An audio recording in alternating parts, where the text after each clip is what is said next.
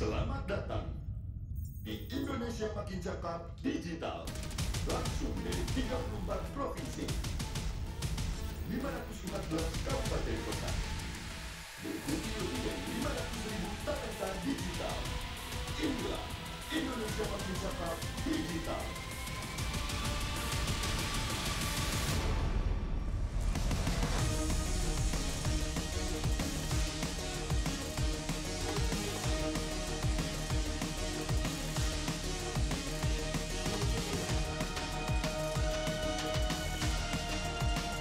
Saya luncurkan program literasi digital nasional hari ini.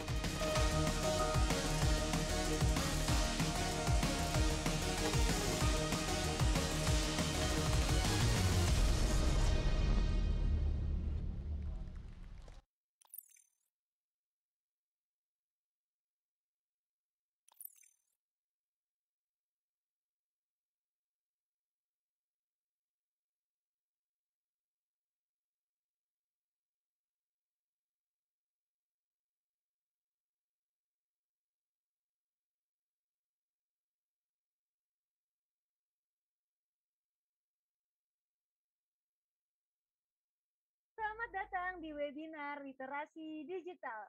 Salam literasi Indonesia makin cakap digital. Assalamualaikum warahmatullahi wabarakatuh. Shalom, Om Swastiastu, Namo Buddhaya, salam kebajikan Rahayu. Senang sekali rasanya dapat kembali berjumpa dalam webinar Literasi Digital 2021 pada hari Jumat 27 Agustus 2021. Tentunya bersama saya Sahira Zaragasani selaku pembawa acara sekaligus moderator pada siang hari ini. Selamat siang dan semangat siang semuanya. Sekali lagi saya ucapkan salam literasi Indonesia makin cakap digital. Saya selalu mengingatkan kepada teman-teman semua, terutama teman-teman di Lampung, tepatnya Kabupaten Tanggamus, atau di mana pun kalian berada, untuk selalu menjaga kesehatan tentunya dengan menerapkan protokol kesehatan yang ada, yaitu memakai masker, menjaga jarak, dan mencuci tangan, serta menjauhi kerumunan. Agar kita semua senantiasa selalu dalam keadaan sehat dan walafiat. Sebelumnya, izinkan saya menyapa terlebih dahulu para pembicara kita di siang hari ini. Yang terhormat dan yang kami banggakan Bapak Samuel Apangerapan selaku Dirjen Aptika Kementerian Kominfo yang kami hormati juga pada para narasumber kita di siang hari ini, yang kami hormati Ibu Lila Mulyani selaku food stylist, penulis kuliner dan dosen Institut STI AMI. Yang kami hormati Bapak M. Adi Prasnowo, STMT IPM ASEAN ING, selaku Menlay Advisor Akademisi. Yang kami hormati Ibu Krisma Dayanti, selaku Wirausaha Muda Online Shop yang kami hormati Bapak Vicky Arnanda selaku penggiat investasi emas. Serta kami hormati juga nih, ke opinion leader kita yang keren banget di siang hari ini, yaitu Kak Popi Anggraini, selaku owner Gaya Biai dan juga content creator YouTube Bilik Biai.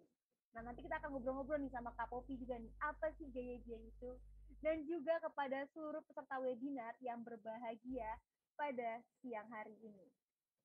Baik, Bapak, Ibu, dan teman-teman semua, di mana pun kalian berada, semoga kita tetap semangat untuk mengikuti webinar yang diselenggarakan oleh Kementerian Komunikasi dan Informatika Kemenkominfo Republik Indonesia.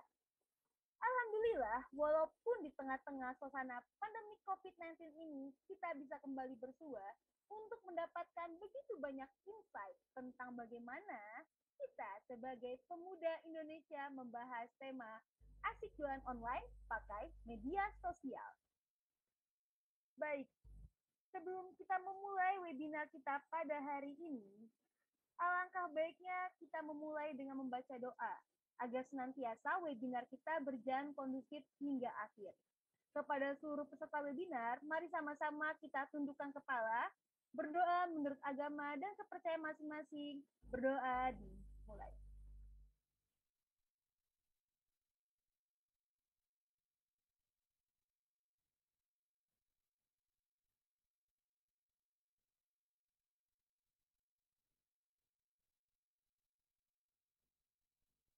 Berdoa tidak pernah usai. Kepada seluruh peserta webinar, agar kita makin semangat dan meningkatkan rasa nasionalisme kita, mari sama-sama memasang duduk sikap, sikap sempurna, karena selanjutnya kita akan menyanyikan lagu kebangsaan kita, yaitu lagu Indonesia Raya.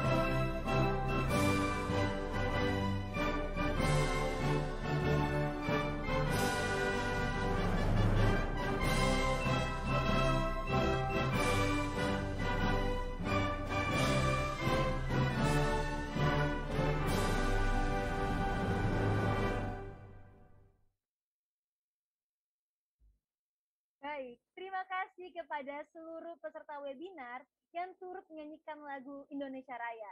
Semoga dengan menyanyikan lagu Indonesia Raya akan semakin meningkatkan rasa nasionalisme kita dan semangat untuk siang hari ini.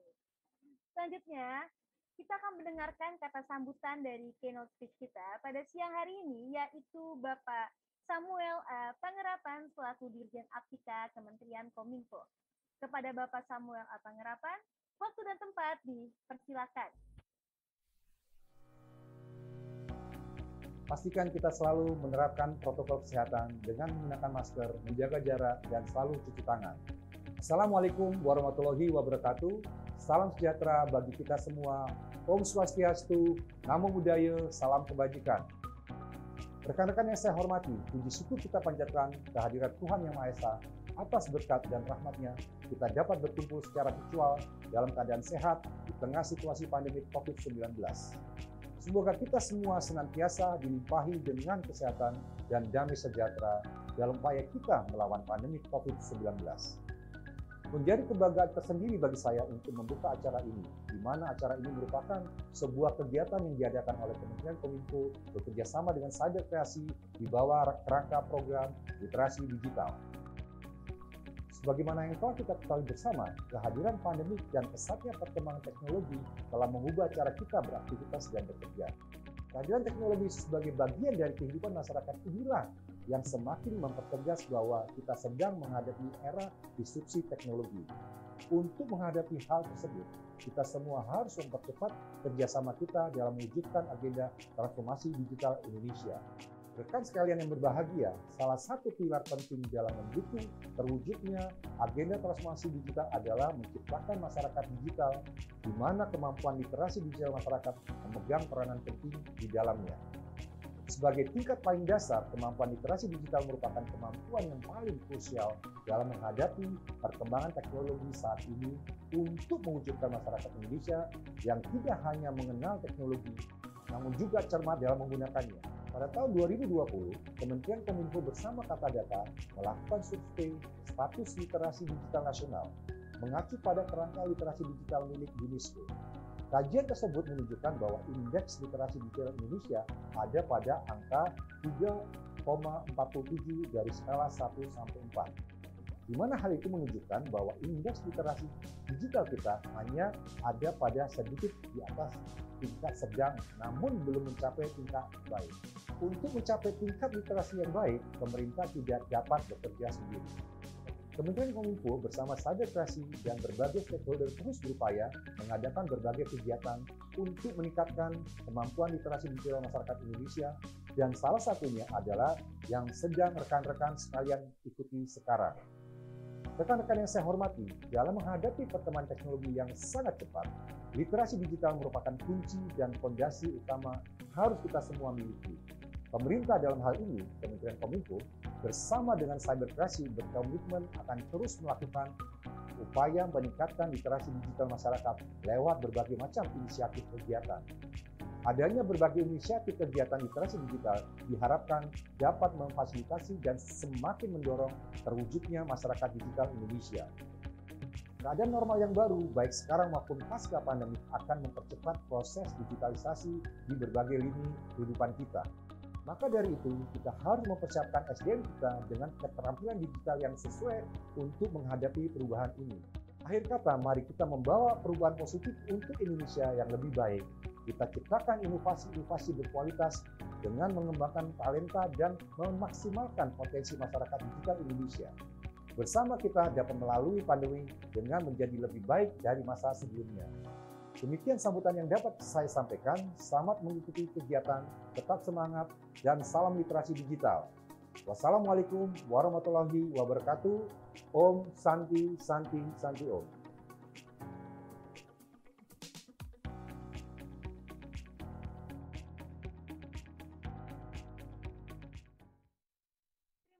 Kepada Bapak Samuel Apangerapan atas sambutannya. Kepada seluruh peserta webinar, tentunya selain ada narasumber kita yang keren-keren banget di siang hari ini, untuk melengkapi kekerenan webinar kita, ada juga nih key opinion leader kita yang gak kalah kerennya, yaitu Kak Popi Anggra ini. Penasaran kan siapa sih Kak Popi Anggra ini? Langsung aja kita sapa nih ya. Selamat siang Kak Popi siang, Assalamualaikum. Suara saya kedengeran nggak ya? Waalaikumsalam. Kedengeran Kak, cuma sedikit kecil suaranya Kak. Kecil ya? Uh, Oke. Okay. Udah kedengeran belum? Udah Kak, udah. Oke, okay, terima kasih. Halo Mbak, saya Zara. Assalamualaikum. Waalaikumsalam warahmatullahi wabarakatuh. Kak Popi, apa kabarnya Kak Popi siang hari ini?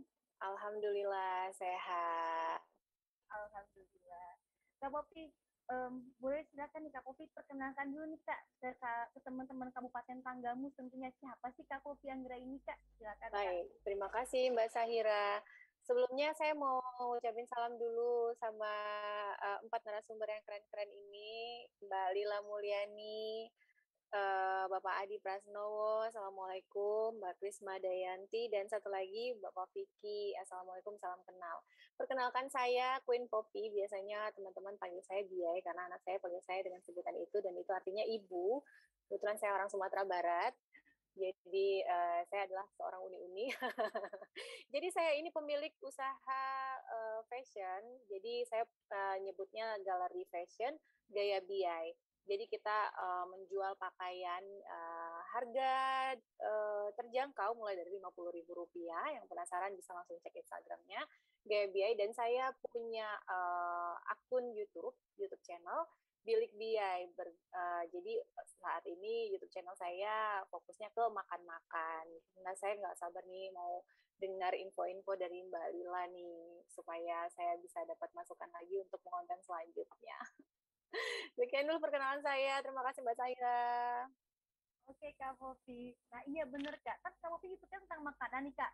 Ya. Aku malam-malam buka YouTube Kak Popi, tengah malam jadi kuyuk-kuyuk perutnya kan. itu sebenarnya challenging banget. Sebenarnya saya kalau misalnya makan tuh kayak agak yang sebenarnya agak yang kalau di depan kamera tuh suka asal gitu. Jadi makan kayak gitu gitu kan. Tapi ternyata kalau misalnya dilihatin nama yang sebenarnya itu yang bisa membangkitkan kayak uh, selera orang yang nonton juga gitu. Tapi sekarang jadi itu jadi itu jadi tantangan lagi adalah kira-kira kalau saya makan orang kira-kira jadi lapar nggak ya? Gitu loh. Jadi kayak mikir aduh gimana ya caranya? Aduh gimana ya? Caranya? saya harus gali ilmu lagi nih lebih lebih dalam lagi supaya saya bisa menampilkan video yang lebih menarik gitu. Ini berhasil kok kak. Aku lapar malam-malam kak. Alhamdulillah. Tapi kak selain YouTube kak kopi yang bikin lapar juga nih. Uh, Instagram kakak yang biayai yang Queen Poppy, ya? ya. Oh, gaya biay. Gaya Hmm, biayai hmm, itu. hmm, hmm. Itu lucu-lucu banget. Itu kayaknya buat hijabers hijabers cocok banget ya kak. Tapi harganya terjangkau kan ya kak? Iya, ya, ya? terjangkau. Jadi Mbak saya kita tuh jual baju itu dari harga 50 ribuan. Nah, itu yang paling mahal tuh saya saya patokin di situ yang paling mahal tuh kayak 230 ribuan lah. Kalau misalnya one set bisa ada di atas 250. Itu insya Allah paling mahal. Dan saya sebisa mungkin jual apa yang saya pakai. Jadi makanya saya sebenarnya meng, kayaknya sekarang belum ada endorse uh, influencer nih. Jadi saya masih 11 eh, 10 ribuan yang ada di GBI itu masih dari saya. Saya uh, berusaha sebisa mungkin dalam tahun ini nanti tahun depan insya Allah mau pakai endorsement juga. Tapi itu emang cara saya tuh, cara saya kayak yang supaya ini uh, berdiri dulu kokoh kakinya dari saya dulu gitu. Jadi saya pakai nih, saya hampir nggak pernah beli baju di luar loh Mbak Saira.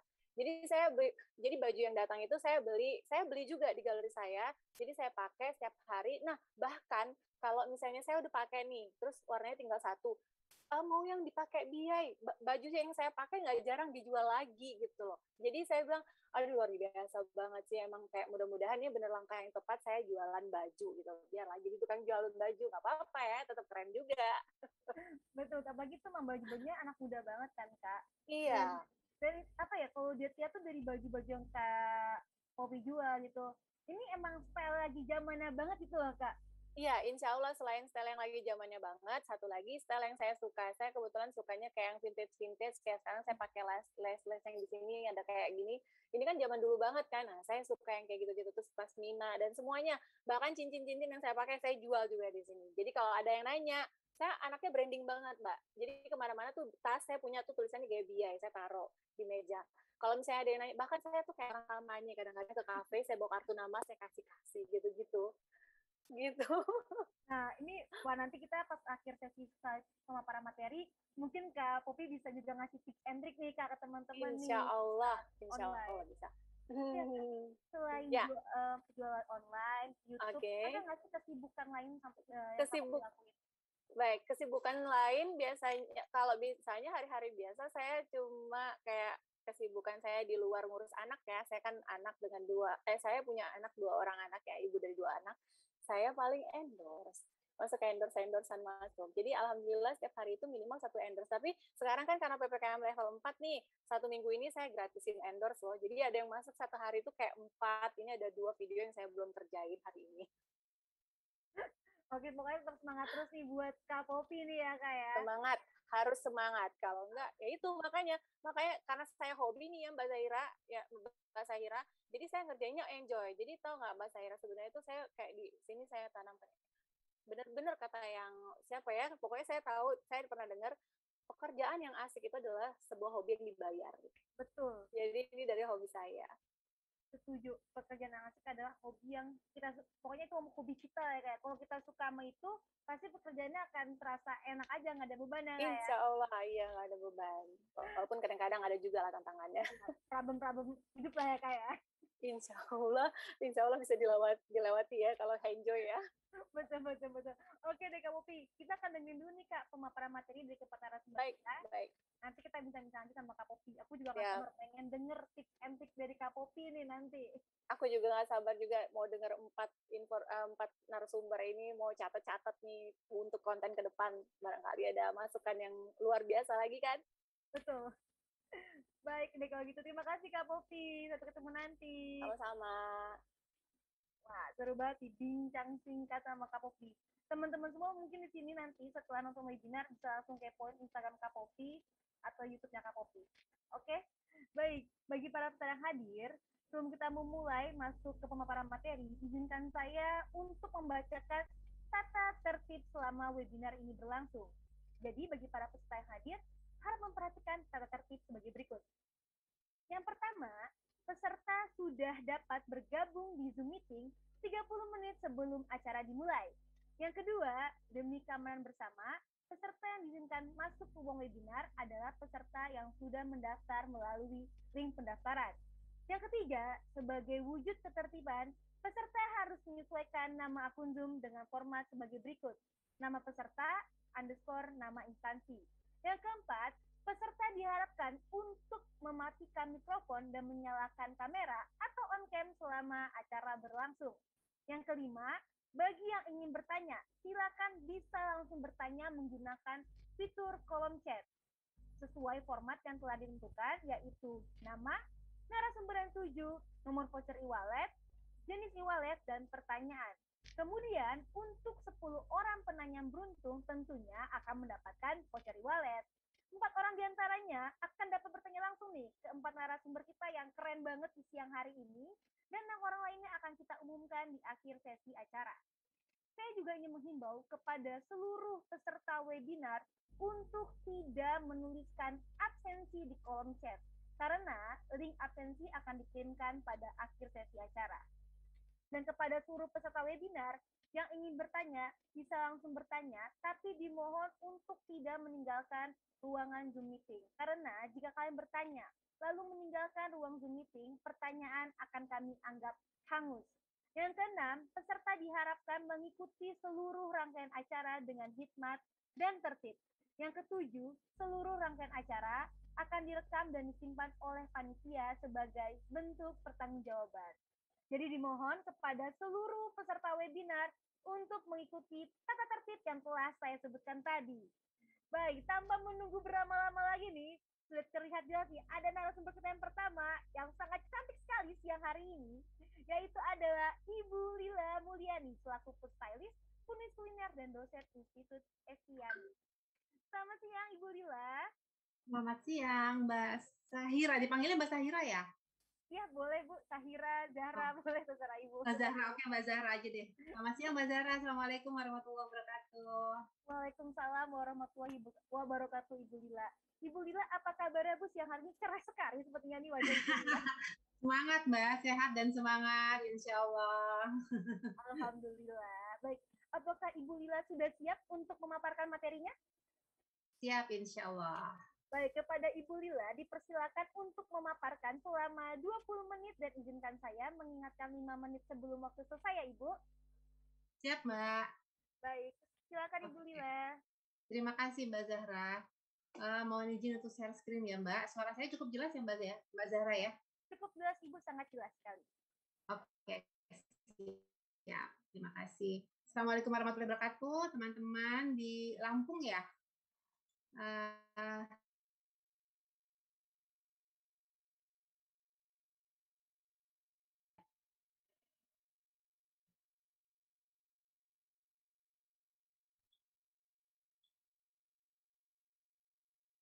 sudah terlihat eh, Mbak Zahra? Sedang proses loading, Bu. Aduh, Baru terlihat seperti... Nah, sudah Bu, sudah terlihat. eh, sorry, yang- ini bukan. Hilang lagi. Nah, ya, aduh, kenapa ya? Maaf. Sudahkah? Hilang lagi Bu tadi, hilang muncul, hilang muncul gitu. Ini sudah? Belum Bu, belum Oh, terlihat. belum? Oh, saya ulang deh ya kalau gitu ya, sebentar ya. Mohon maaf nih, kesalahan teknis selalu terjadi menyebalkan nih. Tidak apa Ibu. Tunggu Sebentar.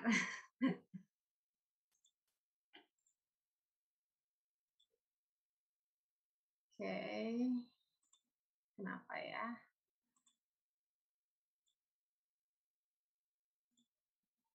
Saya ulang ya, Mbak. Bismillah. Eh, eh salah. Yes. Gimana, Mbak? Apakah terlihat? Sedang proses Bu. Oh, masih muter-muter ya? Sudah, sudah terlihat. Sudah ya. Aduh. Di saya masih loading nih muter-muter. Di sana udah terlihat, Mbak? Sudah Ibu, sudah terlihat. Oh, oke. Oh, di aku masih kedap-kedip. Kenapa nih? Sebentar. Oke, siap. Oke, kita ulang lagi deh menyapanya. Selamat siang teman-teman di Kabupaten Lampung. Eh, sorry, di Kota Lampung ya? Apa di kabupatennya? Eh, gimana sih? Eh, apakah kelihatan Mbak Zahra? Aduh, ini kenapa? Hilang lagi Bu. Ah, tuh hilang lagi ya, Mbak? Iya. Nah, muncul lagi. Udah, uh, stres, stres, stres. Mohon maaf atas kesalahan teknis ini. Kayaknya udah makan lima menit nih Mbak Zahra nih. Oke, uh, selamat siang untuk eh, teman-teman uh, di Kabupaten Tanggamus ya, Mbak Zahra ya. Tanggamus di Lampung. Assalamualaikum warahmatullahi wabarakatuh. Uh, salam kenal juga dan salam hormat untuk Bapak Adi. Kita jumpa lagi Bapak Adi uh, dengan Ibu Krisma Dayanti, Bapak Vicky Arnanda dan Kak Popi yang tadi sudah uh, membuka uh, dengan sedikit ceritanya, curhatnya, cerita dan excitednya tentang uh, bisnis online yang dilakukan ya. Biaya ya Mbak Kak Popi ya. Biaya saya kebetulan orang Minang juga Kak Popi.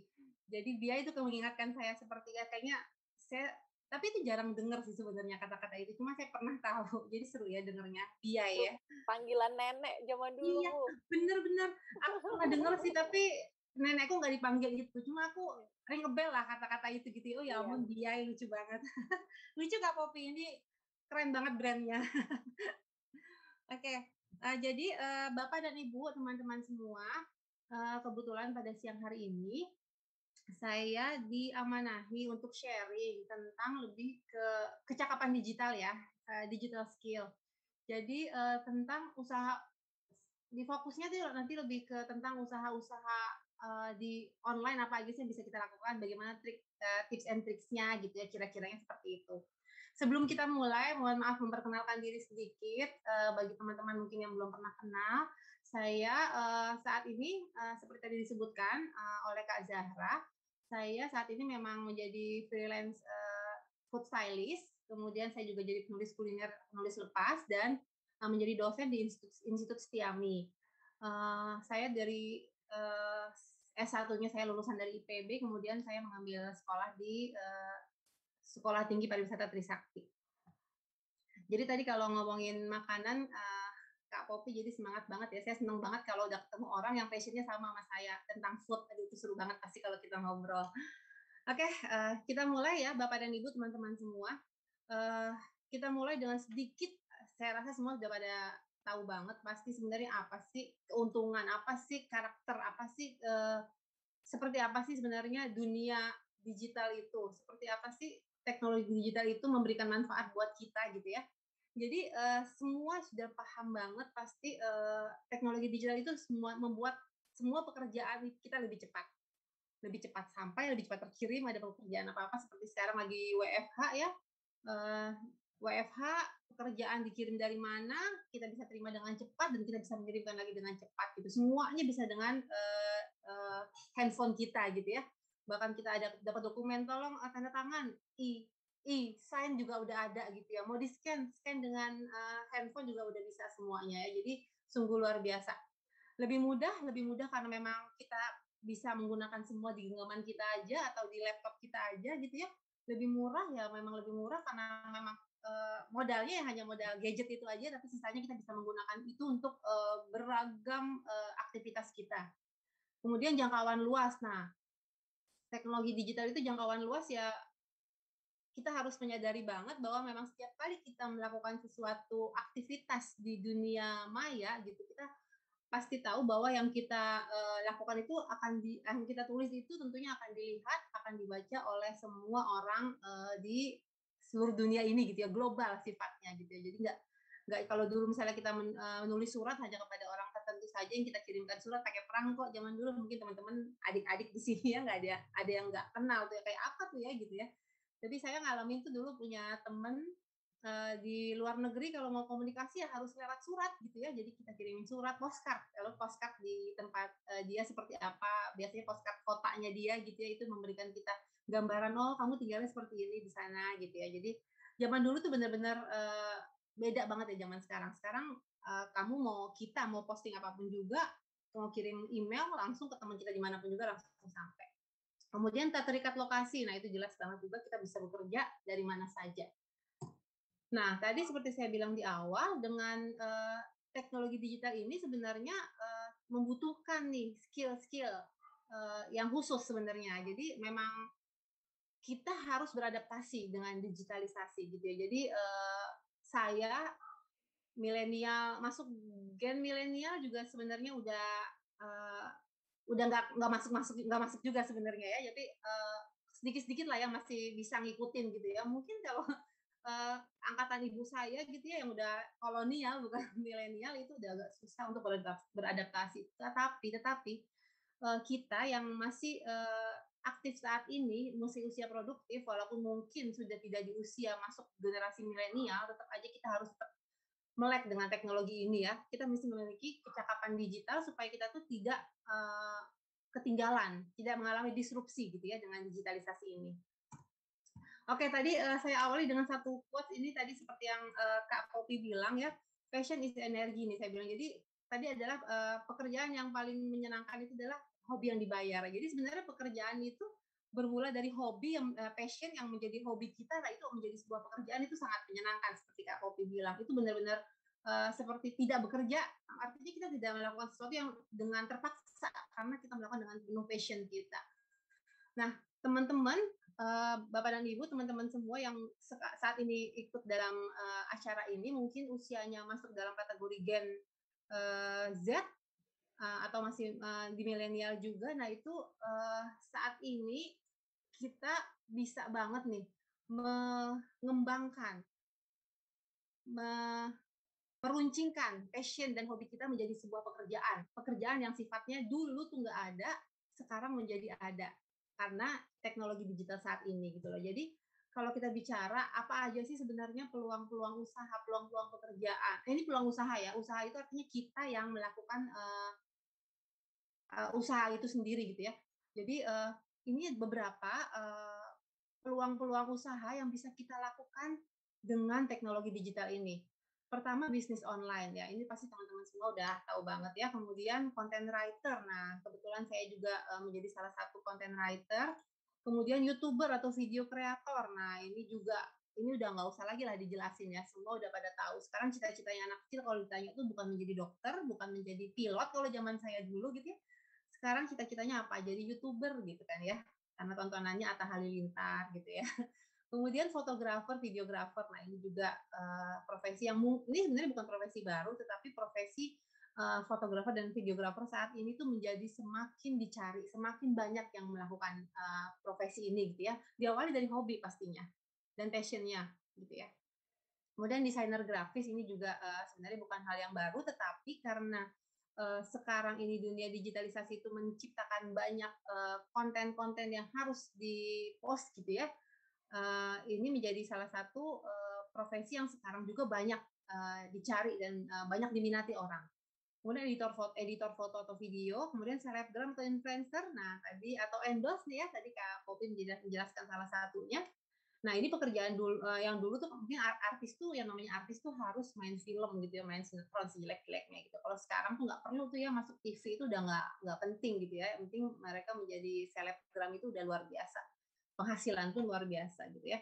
Kemudian tutor online. Nah, ini beberapa peluang usaha. Nah, selain ini sebenarnya kalau kita bicara pekerjaan-pekerjaan yang kita bekerja di sebuah uh, organisasi atau institusi bekerja di sebuah kantor uh, lain gitu ya, bukan kita yang menciptakan usaha tersebut, pekerjaan-pekerjaan di di, uh, di dunia digital saat ini juga ada banyak yang dulu tuh nggak ada. Misalnya ya kalau dulu marketing ya is marketing, sekarang ada digital marketer gitu. Jadi seorang yang memang khusus untuk uh, bekerja untuk me menangani masalah-masalah urusan pemasaran di digital gitu ya. Kemudian ada SEO SEO spesialis, uh, kemudian ada UI UX gitu, kemudian ada web developer gitu yang sekarang juga semakin banyak gitu ya kebutuhannya atau programmer. Nah, itu juga pekerjaan-pekerjaan yang terkait dengan uh, digitalisasi saat ini. Tapi kalau yang kita bicarakan saat ini lebih fokus ke yang usaha ini. Jadi ya fokusnya saya lebih ke bisnis online yang kita akan coba untuk uh, sama-sama memperdalam gitu ya. Nah, uh, sebenarnya uh, Bapak dan Ibu, teman-teman semua, tadi kalau kita lihat profesi pekerjaan-pekerjaan ini nih, usaha-usaha ini sebenarnya kalau dilihat yang dihasilkan adalah sebenarnya sebuah konten ya konten berupa uh, nah kalau bisnis online namanya konten bu. Nah bisnis online sebenarnya konten loh gitu. Jadi apa yang kita posting itu gitu uh, di IG kita di medsos kita itu kan sebenarnya sebuah konten. Walaupun sebenarnya tujuan kita adalah untuk berjualan tetapi itu adalah konten. Konten yang kita sengaja buat konten yang sengaja kita uh, ciptakan untuk mempromosikan bisnis kita gitu ya.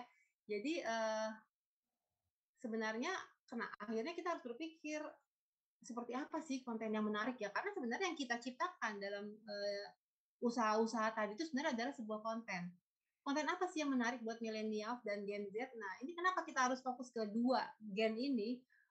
Karena uh, menurut data dari BPS tahun lalu nih ya, memang surveinya penduduk di Indonesia ini lebih dari 50 persennya uh, merupakan bagian dari dua generasi ini, Gen Z dan Gen milenial. Ini jadi adalah dua mereka di uh, dua generasi ini digabungkan menjadi lebih dari 50% populasi di Indonesia. Jadi sangat besar ya mereka itu jumlahnya saat ini gitu ya Gen Z dan uh, milenial. Seperti apa sih? Nah, itu kita harus cari tahu dulu seperti apa sih yang mereka suka karena kita tadi fokus ngomongin bisnis online ya. Jika kita adalah berbisnis online memang uh, target market kita adalah kedua generasi ini, Gen Z dan milenial, tentunya kita harus uh, pelajari behavior mereka seperti apa apa sih yang mereka suka. Nah, konten-konten seperti apa sih yang akan menarik buat mereka. Nah, di sini uh, disebutkan konten yang atraktif gitu ya. Terus uh, senang dengan konten yang ringan dan menghibur, konten berbentuk visual lebih menarik. Jadi uh, yang terlalu teks gitu ya uh, kurang menarik buat uh, generasi Z dan milenial. Terus mereka karena mereka cepat bosan, jadi tuh harus uh, kontennya tuh harus berbeda jangan monoton gitu ya. Jadi kita kasih informasi itu yang eh, konten itu yang berbeda gitu setiap hari karena mereka tuh gampang bosen. Kemudian ini senang datang ke event yang membuat mereka merasa eksis. Jadi eventnya harus keren gitu ya. Terus kita misalnya uh, mem, uh, dipromosikan secara online dengan keren oleh uh, hostnya siapa gitu yang populer di dunia uh, maya. Nah itu pasti akan uh, banyak uh, diikuti oleh para Gen Z dan milenial. Nah, Bapak dan Ibu, teman-teman semua, sedikit teori uh, dari teori marketing sebenarnya ya. Uh, ada yang disebut dengan uh, konsep AIDA, attention, interest, desire, action. Nah, ini uh, konsep ini sebenarnya uh, memang konsep klasik ya, tapi masih bisa kita aplikasikan untuk uh, konten yang akan kita buat nih. Jadi tadi kita fokus kita ngomongin konten karena sebenarnya jual bisnis online itu juga membuat konten. Kenapa? Karena kita kalau cuma jualan setiap hari postingnya adalah uh, jualan aja gitu itu tentunya jadi kurang menarik buat uh, para uh, follower kita gitu ya jadi kita harus bikin sesuatu yang menarik postingan yang tidak hanya melulu berisi jualan gitu ya Nah, ini konsep AIDA ini, Bapak dan Ibu, teman-teman semua, kita mulai dari A-nya attention. Jadi itu adalah proses di mana orang tuh mulai tertarik melihat promo atau konten yang kita buat. Jadi sambil di feed dia ngelihat, oh ini tertarik. Nah, tertarik itu adalah baru attention. Eh sorry, uh, tertarik tertarik baru melihat dia attention. Nah, kemudian begitu masuk ke interest, interest itu dia dia menarik melihat promo ah, fotonya bagus, fotonya keren, videonya uh, keren banget gitu. Nah itu uh, dia masuk ke selanjutnya dia akan masuk ke level berikutnya adalah interest. Interest itu ter, uh, tertarik untuk mengunjungi website. Nah jadi biasanya kan jangan pernah lupa nih untuk di bio kalau di IG kita masukkan bionya itu misalnya kita punya website gitu ya atau di konten kita lagi cerita apa kita masukkan website kita biar orang uh, langsung link ke situ gitu ya. Nah, saat uh, orang sudah mulai tertarik untuk uh, mengunjungi website kita, kemudian atau menghubungi kita untuk bertanya, berniat untuk bertanya itu sudah masuk dalam level interest. Kemudian D, desire. Desire itu orang mulai bertanya lebih dalam dan meninggalkan kontaknya untuk dihubungi. Nah, Bapak dan Ibu, teman-teman semua mungkin sering nih kita ngalamin gini. Jadi kita mulai uh, curious kita mulai uh, penasaran gitu. Kita pengen tahu oh, seperti apa yang uh, tadi uh, di toko onlinenya Kak Popi tadi uh, ini kayak gimana ya? Mereka Bila, pengen tahu. Ya Bila, mohon maaf memotong hanya mengingatkan waktunya tersisa lima menit lagi itu oh, oke oke oke. Baik. Oke okay, agak ngebut berarti ya. Uh, jadi desire ini saat dia udah mulai bertanya lebih dalam kemudian action. Nah ini yang kita harapkan ya. Action adalah orang akhirnya membeli dan menjadi pelanggan. Nah ini uh, karena itulah Bapak dan Ibu teman-teman semua uh, di saat ini tuh berkembang uh, marketing yang baru namanya konten marketing. Jadi konten marketing itu strategi pemasaran baru di dunia digital saat ini. Jadi fokus untuk membuat sebuah konten kepada audiensnya uh, dan uh, tujuannya adalah sebagai bentuk dari promosi, tetapi bentuknya adalah konten gitu ya. Uh, nah, konten marketing itu uh, menurut teorinya Gunelius 2011 ini proses mempromosikan bisnis atau merek secara tidak langsung dan atau langsung melalui konteks video, teks atau audio yang bernilai tambah secara online atau offline. Nah, Jadi kita bisa melingkan uh, toko online kita di IG tadi kepada blog kita misalnya, kepada artikel yang kita tulis di blog gitu, atau kita punya ebook kita linkkan ke situ, atau uh, ya misalnya cuma uh, postingan uh, caption di medsos kita itu termasuk dalam uh, konten marketing. Nah, uh, jadi uh, itu ya Bapak dan Ibu teman-teman semua, kenapa sekarang uh, marketing di era digital ini sedikit berbeda dibanding marketing di uh, era zaman dulu yang masih sifatnya tradisional atau konvensional gitu ya. Ini uh, ada data strategi konten marketing itu ternyata 62% lebih rendah ini biayanya ya, maaf ini enggak tulis biayanya. Jadi biaya untuk strategi konten marketing 62% lebih rendah. Ini lebih murah banget kalau kita mempromosikan, uh, memasarkan produk kita dengan uh, marketing. Nah, ini 60, 62% lebih rendah dibandingkan kegiatan marketing secara tradisional. Tetapi walaupun biayanya lebih rendah, bukan jadi murahan, hasilnya justru lebih baik dibandingkan uh, marketing secara tradisional. Itu data yang saya dapat dari dewaweb.com. Nah, kemudian kalau uh, kita ngomongin selanjutnya, terus gimana ya? Perlu sosial media aja atau perlu juga ikut dalam marketplace? Nah, Bapak dan Ibu teman-teman semua, sebenarnya dua uh, dua uh, platform ini sosial media dan marketplace itu saling uh, saling apa ya saling ber saling support gitu ya. Jadi kita nggak bisa cuma punya sosial media gitu tapi kita tidak bermain di marketplace atau kita punya main di marketplace aja tapi kita nggak punya sosmed. Kayaknya itu nggak komplit. Jadi memang kita harus dua-duanya. Karena apa? Karena marketplace itu sebenarnya banyak lebih digunakan orang-orang terutama Gen Z untuk langsung bertransaksi. Karena kan lebih gampang transaksinya. Jadi memang kalau kita bertransaksi langsung di IG uh, itu beresiko ya karena uh, saya punya cerita teman saya dulu sampai apa ya uh, tertipu lah beli di IG dengan jumlah yang lumayan besar gitu ya. Jadi uh, IG tidak disarankan untuk membeli langsung ke IG atau Facebook kecuali pada teman yang kita kenal ya. Jadi kalau kenapa Gen Z sekarang lebih nyaman dan milenial saya rasa semua orang lebih nyaman lah untuk langsung belanja di marketplace karena terjamin. Jadi kalau memang uh, ada apa-apa tuh karena kita membayarnya tidak langsung ke uh, si penjual, tidak langsung ke seller ya. Nah, jadi uh, Bapak dan Ibu teman-teman semua tadi kalau kita uh, meng mengarahkan kita untuk membahas tentang marketplace itu tentang e-commerce ya, berarti uh, perdagangan lewat internet memang trennya selalu naik gitu ya. Kita lihat ini jumlahnya luar biasa, tidak pernah turun, selalu naik. Jadi uh, kalau kita lihat apa sih top 10 e-commerce di Indonesia. Nah ini semua sudah pada tahu dan saya rasa semua juga sudah ada dalam handphonenya masing-masing. Ini adalah Shopee, Tokopedia, Bukalapak, Lazada, Blibli. Ini urutannya uh, menurut uh, di di kuartal 3 2020 datanya. Nah, uh, terus kalau pertanyaannya mana nih yang lebih cocok untuk produk saya gitu ya. Nah, ini sebenarnya Bapak dan Ibu teman-teman semua uh, dari hasil survei Shopee itu penggunanya lebih banyak perempuan Tokopedia lebih banyak lebih banyak laki-laki gitu ya. Uh, jadi bisa dilihat ya, teman saya nih yang ngomong lucu juga, saya rasa uh, benar juga. Shopee itu uh, kalau Tokopedia itu maksimal di dalam keranjang ada berapa ya? Terbatas gitu ya kalau nggak salah ya. Hanya berapa gitu saya lupa. Saya sering banget tuh udah kosongnya keranjang Anda dulu baru bisa belanja lagi masukin ke keranjang gitu. Sebenarnya kalau Shopee itu kayaknya unlimited deh. Saya udah banyak masukin ke keranjang tapi belum habis. Jadi itu kan karakternya perempuan banget ya yang senang tuh ah taruh lagi dulu taruh lagi dulu kan tinggal dilihat mau yang mana gitu ya. Nah jadi itu uh, masing-masing itu juga punya marketnya sendiri-sendiri ya teman-teman ya pada ibu semua. Uh, oke okay, terakhir eh, ini dua slide terakhir. Jadi kalau kita bicara bagaimana sih supaya kita bisa uh, bisnis online kita bisa uh, berjalan lancar pertama kita tentunya harus uh, fast response ya. Apopin nanti pasti bisa lebih cerita lebih dalam gimana karena kalau sekali aja kita uh, chat terus tidak dibalas, kita bisa langsung pindah ke toko sebelah gitu ya, karena pilihannya sangat banyak, kompetitornya sangat, kompetisinya sangat tinggi gitu ya. Kemudian jujur, apa yang kita tulis di deskripsi harus benar-benarnya gitu, jangan sampai mengecewakan, karena nanti kalau udah kecewa, wah uh, masuk di uh, testimoninya gitu udah langsung uh, gawat deh kita ya. Kemudian ramah dan santun, nah jawablah dengan ramah dan santun setiap uh, chat yang masuk menepati janji. Nah, ini juga nggak boleh uh, lupa. Jadi kita bilang akan dikirimkan, misalnya ada yang chat dulu, terus kita kita jawab akan dikirimkan besok, itu jangan lupa gitu ya, tepati janjinya. Soft selling untuk promosi. Nah, ini merupakan bagian dari tadi konten marketing bahwa walaupun kita sebenarnya tujuannya adalah berjualan, jangan sampai konten kita itu isinya cuma jualan, jualan yang hard selling, benar-benar jualan gitu ya. Tapi buatlah menjadi sebuah konten yang menarik gitu ya dan arahkan ke blog kita cerita tentang uh, tentang produk kita atau sebenarnya nggak tentang produk kita tapi dan tentang misalnya tadi tentang makanan Minang misalnya gitu ya kita jualan makanan Padang gitu ya.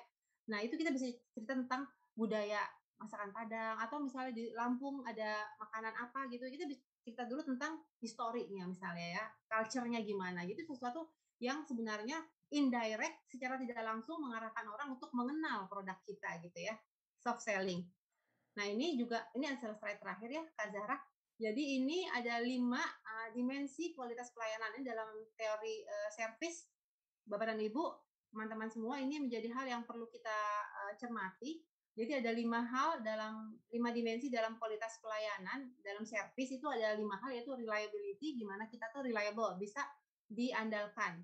Ya, jadi uh, kita, uh, kita tuh nggak nggak menipu gitu, integrity kita jelas gitu ya. Responsiveness, responsiveness itu terkait dengan tadi cepat menjawab, uh, cepat merespon. Assurance memberikan jaminan, jaminan bahwa memang kita itu uh, kita produk kita itu produk yang misalnya makanan tuh produk yang tidak uh, mengandung uh, zat yang berbahaya segala macam kita bisa memberikan assurance itu kepada uh, uh, follower kita atau uh, konsumen kita.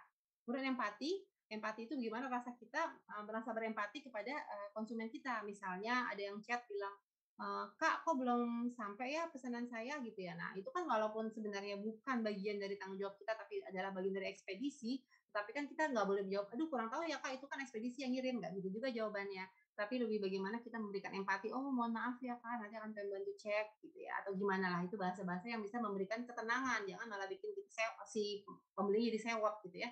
Kemudian tangible tangible itu adalah sesuatu yang sifatnya fisik kelihatan terlihat nyata eh, kasat mata itu lebih ke bagaimana tampilan produk kita di uh, fotonya atau kemasan yang kita kirimkan uh, kepada pembeli kita ya Nah, terakhir ini adalah don't be busy, just be productive. Uh, saya rasa cukup Kak Zara, jadi buru-buru nih lari-larian ngomongnya. terima kasih banyak. Baik, terima kasih banyak Ibu Lila Mulyani atas pemaparan materi yang luar biasa, Ibu. Dan tadi saya menikmati sekali karena saya jujur Bu, saya juga ada bisnis online gitu kan. Dan ini tuh tips-tips dari Ibu tuh bikin saya kayak wah benar juga ya memang kadang kalau misalnya ibu bilang kan pentingnya fast respon kadang ya saya juga nggak punya aktivitas lain gitu kan nggak nggak nggak nggak ngecek gitu loh nggak ngecek hmm. sosmed saya gitu sosmed jualan saya hmm. orang udah pada ah lama banget nih responnya tinggal gitu ah, iya ya, itu penting banget tuh fast respon. Dikti dikasih tau juga nih tadi sama Bu Lila bahwa pentingnya fast respon, pentingnya jujur ya Bu ya, karena kan uh, online gini ada orang khawatir ya Bu ya, ini aman nggak ya? terpercaya nggak ya nah, jujur ya. ramah santun walaupun melalui online sisi ramah kita jangan dilupakan ya Bu ya. Oh, bisa kita terlihat ramah kok ya. Betul, baik. Sekali terima kasih banyak Ibu Lila Mulyani Sama-sama. Paparannya Ibu. Sama-sama Kak Zara. Baik, tadi kita dikasih tips-tips nih dari Bu Lila nih, bagaimana sih cara juga kalian nih bagi yang mau bisnis online, dan satu cara-caranya supaya pelanggan senang gitu sama kita. Baik, langsung saja kita masuk ke pemateri kita yang kedua. Tadi kita habis ngobrol sama Ibu yang cantik. Sekarang kita akan berbicara nih dan mendengarkan pemaparan materi dari uh, yang ganteng-ganteng yaitu Bapak Muhammad, Bapak MRD Prasowo STMP IP, selaku IPM Asayat ING selaku Menle Officer Akademisi. Ya, selamat siang Mbak Zahra gitu ya. Jadi Mbak Zahra juga ya Pak ya. Selamat siang Bapak. Apa kabar Pak siang hari ini? Alhamdulillah baik. Jadi tadi kalau sudah dipanggil ganteng, tolong jangan disuruh review saldo ya. Wah iya benar ya Pak ya. Enggak kok Pak, enggak kok Pak. Wah nanti disuruh review saldo itu. Jadi Nanti ada muncul, pajak nanya Pak di sini eh, bahaya, Muncul Pak. yang kayak di meme itu enggak duit duit plus gitu ya. baik baik. Aduh ini jadi kayaknya seru juga nih dengan pemaparan materi dari Pak Adi baru ngobrol aja udah ketawa-ketawa saya nih. Pasti pemaparannya luar biasa nih. Apakah Pak Adi sudah siap untuk memaparkan materinya Pak? Baik baik baik ya. baik kepada Pak Adi diberikan waktu selama 20 menit untuk memaparkan materinya. Izinkan saya nanti ya Pak nanti mengingatkan 5 menit sebelum waktu selesai. Ya terima kasih. Baik Pak. Baik izin share screen dulu.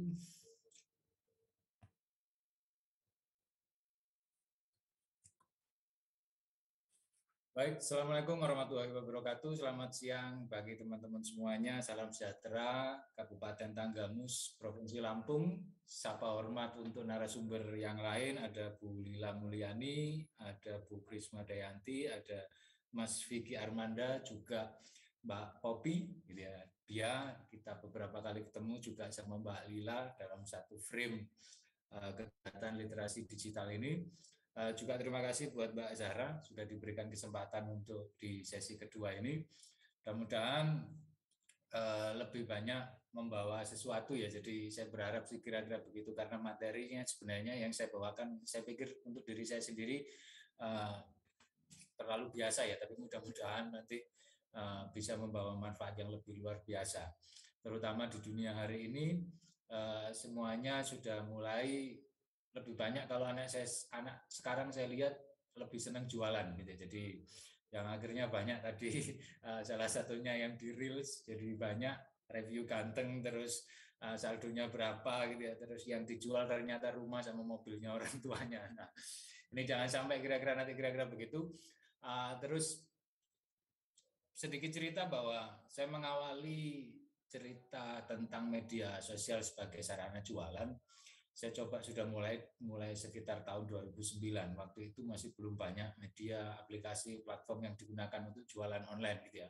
Zaman dulu mungkin ada BB, terus ada pesan singkat saja, terus uh, Facebook, uh, Instagram rasanya belum marak di sini gitu ya, terus uh, Friendster masih sedikit-sedikit ya, terus by email.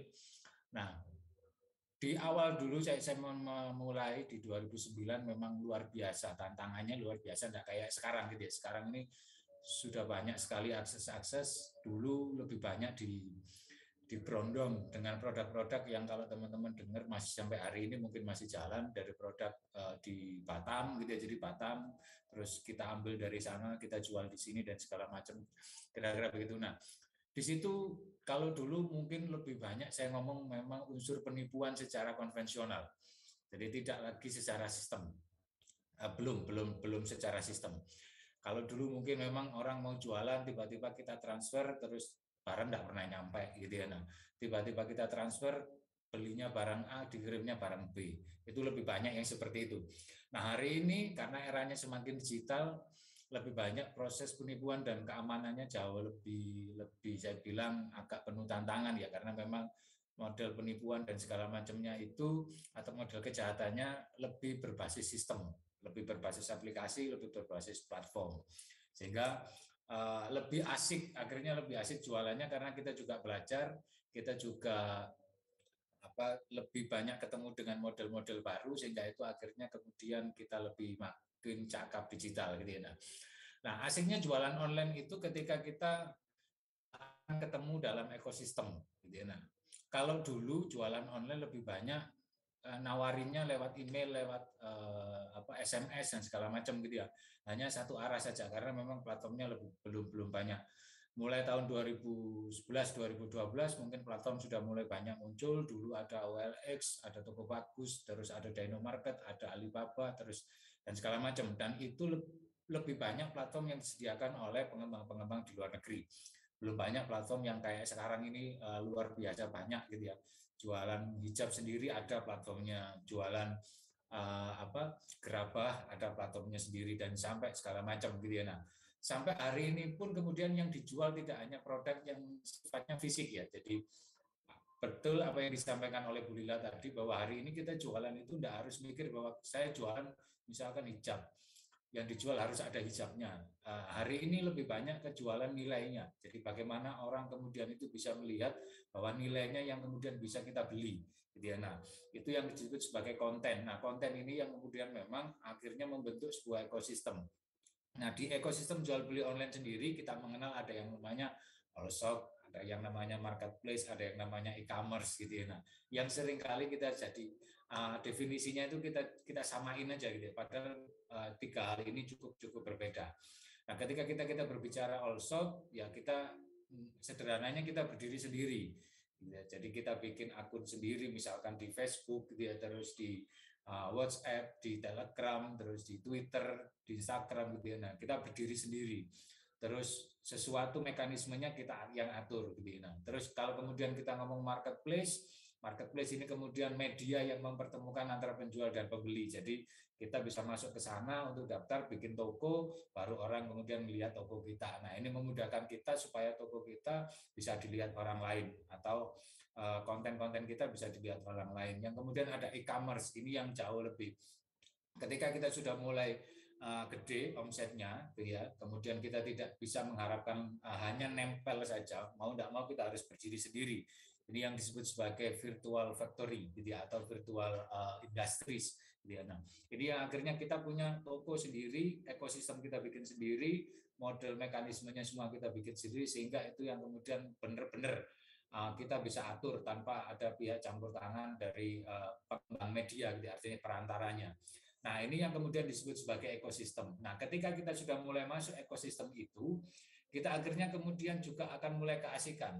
Di mana kata yang paling ditunggu itu ini. Jadi kata yang paling ditunggu sudah ditransfer ya. Nah, ini yang kemudian uh, cenderung orang akan kemudian kalau itu pemain baru ini senangnya luar biasa gitu ya. Nah, jadi pemain baru ini senangnya luar biasa. Tapi kalau agak mulai agak sedikit lama, ini mulai deg-degan.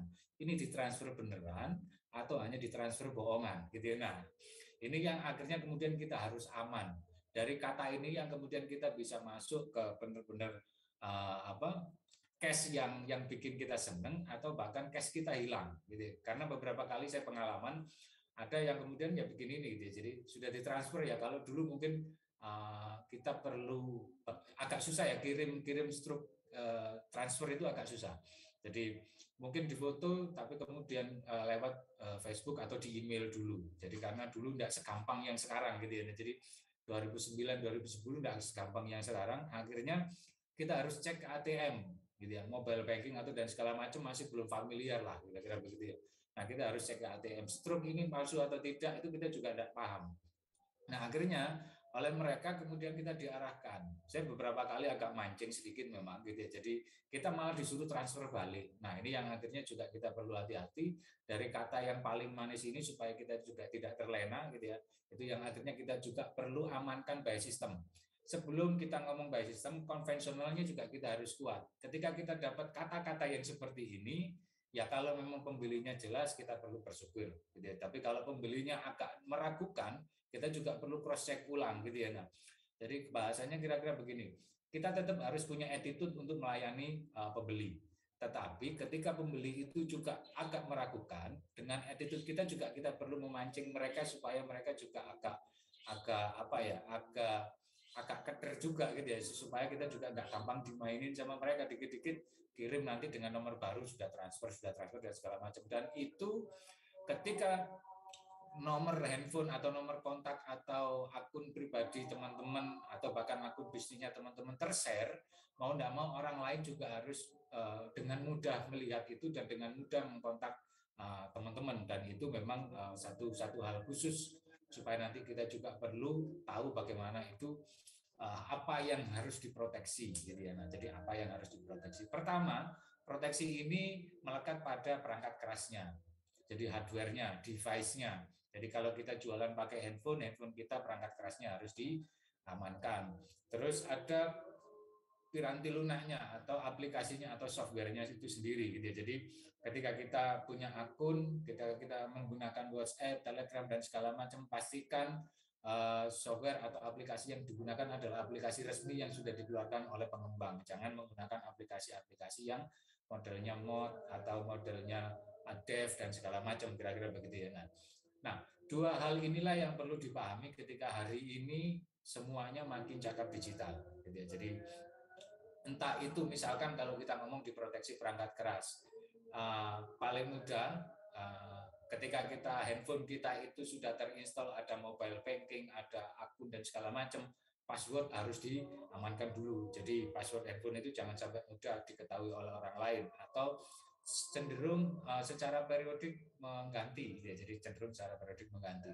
Terus ketika perangkat piranti lunak, pastikan di dalam perangkat kita itu juga uh, terinstall antivirus, ya. Terus kemudian uh, ada model uh, blokir proxy tertentu, gitu ya. Jadi artinya ada beberapa kali memang kayak misalkan begini, WhatsApp saya ketika satu tertentu itu yang tiba-tiba banyak WhatsApp yang itu muncul dengan nomor dari Amerika dari uh, apa Inggris dan segala macam gitu ya. Nah, itu yang akhirnya beberapa kali saya kemudian mencoba ini ini kenapa sih tiba-tiba muncul yang seperti ini gitu ya. Nah, memang ada beberapa sirkul, sirkulasi yang akhirnya saya sendiri agak lupa gitu ya. Saya cenderung seneng ngoprek di beberapa perangkat gitu. Ya. Akhirnya ada satu jendela yang itu memang terbuka dan mereka bisa masuk gitu ya dan mereka bisa masuk dengan mudahnya dan ketika mereka masuk ketika kita buka WA-nya saja jangankan ngeklik buka WhatsApp-nya saja atau pesan mereka saja kemudian dianggap bahwa kita ini WhatsApp-nya tidak aman. Nah, itu yang akhirnya WhatsApp-nya diblokir oleh WhatsApp sendiri. Jadi aplikasi WhatsApp kita itu diblokir oleh perusahaannya WhatsApp sendiri, bukan diblokir oleh orang lain ya. Jadi bukan diblokir oleh orang, tapi diblokir oleh WhatsApp. Dianggap eh, kegiatan kita, aktivitas kita itu tidak aman. Nah itu yang biasanya terjadi di generasi Z. Generasi Z itu kan suka ngegame, suka cheat eh, apa permainan-permainan gitu ya. Nah, dan itu biasanya harus install VPN, harus install uh, jalur proxy yang uh, lebih kencang dan segala macam gitu ya. Yang itu akhirnya membuka jendela-jendela itu. Nah, itu ketika di, nanti perangkatnya juga digandengin untuk jualan online, ya saya berharap itu nanti diamankan dulu supaya supaya itu kemudian juga mengamankan seluruh akun yang dimiliki gitu ya. Nah, sehingga ketika tadi sudah saya singgung bahwa proteksi di hardware-nya itu ada kata sandi, fingerprint gitu ya. Kalau memang handphonenya masih belum kompatibel untuk fingerprint atau belum uh, ada fitur fingerprintnya ya paling enggak kata sandinya harus kuat gitu ya. Terus ada face authentication. Nah, ini yang biasanya ada aplikasi yang memang disediakan. Tetapi hati-hati. Saya baca uh, beberapa artikel ada sembilan aplikasi yang memang itu diblokir oleh Play Store kalau yang di Android ya yang itu cenderung memang ketika aplikasi itu diinstal itu akan meretas password atau kata sandi di uh, akun kita masing-masing. Ada akun Instagram ada akun uh, medsos kita lah gitu ya. Dan itu cenderung aplikasi yang lebih banyak tentang face recognition atau face authentication atau yang kemudian biasanya aplikasi editing foto. Nah pastikan uh, kita kita kemudian tidak boleh takut dulu tapi paling tidak pastikan bahwa yang kita install nanti itu menjadi aplikasi-aplikasi yang aman gitu ya. Yang itu kemudian paling tidak begini ratingnya bintang 4 lah gitu ya. Jangan kemudian ratingnya masih bintang satu, bintang dua, kemudian kita asal aplikasi asal install saja. Nah, itu yang sering kali juga perlu diamankan. Yang selanjutnya proteksi software. Jadi ketika software kita ada kendala, misalkan hilang gitu ya. Kita kemudian biasanya sih biasanya kan nggak mungkin kalau kita punya uh, device yang uh, terintegrasi dengan aktivitas digital itu kita tidak punya email. Nah email kita itu kan biasanya bisa dibuka dengan device yang lain. Nah pastikan bahwa email kita tersinkron itu email yang aktif. Nah email aktif ini kegunaannya apa? Karena ketika uh, device kita ini hilang itu kemudian kita bisa melaporkan bahwa nanti dari email yang kita miliki itu untuk kemudian memblokir seluruh aktivitas digital yang akan diakses oleh orang yang menemukan, termasuk menghapus seluruh datanya. Nah, itu yang kemudian memang akan mengamankan, gitu ya, sehingga password uh, medsos kita, terutama password mobile banking, password kredit card dan segala macamnya itu uh, tidak bisa diretas. Gitu ya. Terus ada backup data. Eh, secara reguler kalau bisa memang secara reguler manual boleh ataupun melalui cloud juga boleh itu nanti harus di backup supaya data-data yang kita miliki itu kemudian juga tetap aman. Dan tidak tidak istilahnya ketika kita sering kali kan agak lupa gitu ya device kita ditaruh sembarangan dan segala macam eh, kita tidak tahu mungkin kita punya bayi atau anak yang usianya agak eksplor dengan gadget akhirnya foto terkirim ke teman-teman yang lain. Nah, kira-kira begitu. Nah, itu yang juga Pak Adi, ya. Mohon maaf memotong pemaparan Bapak, hanya ingin mengingatkan waktunya tersisa 5 menit lagi ya Bapak. Siap, siap, ya. Baik, nah melanjutkan terus kemudian ada antivirus, ada enkripsi full ditch dan ada shredder. Nah ini yang kemudian juga nanti data bisa kita hilangkan seketika melalui sinkronisasi tadi. Jadi saya berharap teman-teman ketika bikin email jangan jangan kemudian akun uh, medsos satu email satu medsos dua email dua dan segala macam sehingga nanti kita lupa pastikan email itu sebagai kalau kita punya KTP ya email itu KTP kita sebenarnya jadi email hanya satu saja yang itu kemudian bisa dipakai seterusnya nah kendalanya memang ketika ruang penyimpanannya ketika email gratis itu memang agak terbatas ya jadi Ya kalau memang nanti bisa kemudian ada pendapatan karena kita sudah jualan online, ya emailnya yang berbayar. Jadi nanti ruang penyimpanan untuk backup dan segala macamnya itu jauh lebih besar. Nah, sistem keamanan yang diberikan dalam uh, aktivitas digital itu ada yang namanya OTP, one time password, ada namanya two factor authentication atau 2FA, ada PIN, di mana ini kemudian modelnya adalah model dua langkah, di mana semuanya memverifikasi. Ketika kita masuk atau orang lain mencoba masuk untuk ke aplikasi atau platform kita, kita akan diberikan notifikasi, di mana notifikasi itu memastikan apakah yang masuk itu kita atau orang lain. Ketika orang lain, kita jangan sampai approve. Ketika kita merasa bahwa saya tidak masuk di sini, ya jangan approve. Gitu ya. Kalau approve ya berarti orang lain yang kemudian bisa masuk atau perangkat-perangkat lain yang bisa masuk. Nah, sehingga ketika kita mau jualan online, tadi saya bilang, tidak hanya produk saja, jadi bentuk konten yang bisa dijual atau aplikasi aplikasi atau medsos itu ada pertama video. Ya, jadi terus ada foto, ada audio, ada tulisan. Teman-teman bisa lihat kita bikin quote saja, quote-quote yang lucu atau video-video yang lucu itu ketika sudah dipost di kanal video, sudah berapa duit yang sudah bisa dihasilkan gitu ya. Padahal kita tidak punya produk apa-apa. Gitu ya. Padahal kita tidak punya produk apa-apa. Tinggal nanti uh, momen boomnya saja yang kemudian memastikan bahwa rezeki rezekinya itu nanti nyantol ke kita, kira-kira begitu. Nah, terus konten medsos itu baiknya gimana sih.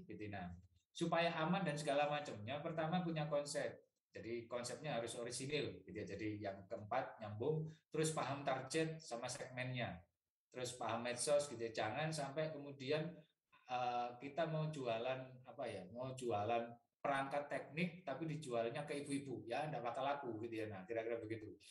Nah pastikan itu segmennya jelas gitu ya. Tetapi ada kemudian model pemasaran yang yang agak-agak agak agak nyeleneh gitu ya. Nah itu yang kemudian hari ini memang lebih banyak dikonsepkan. Misalkan gini ada minuman bapak-bapak yang kemudian digandeng sama popok bayi.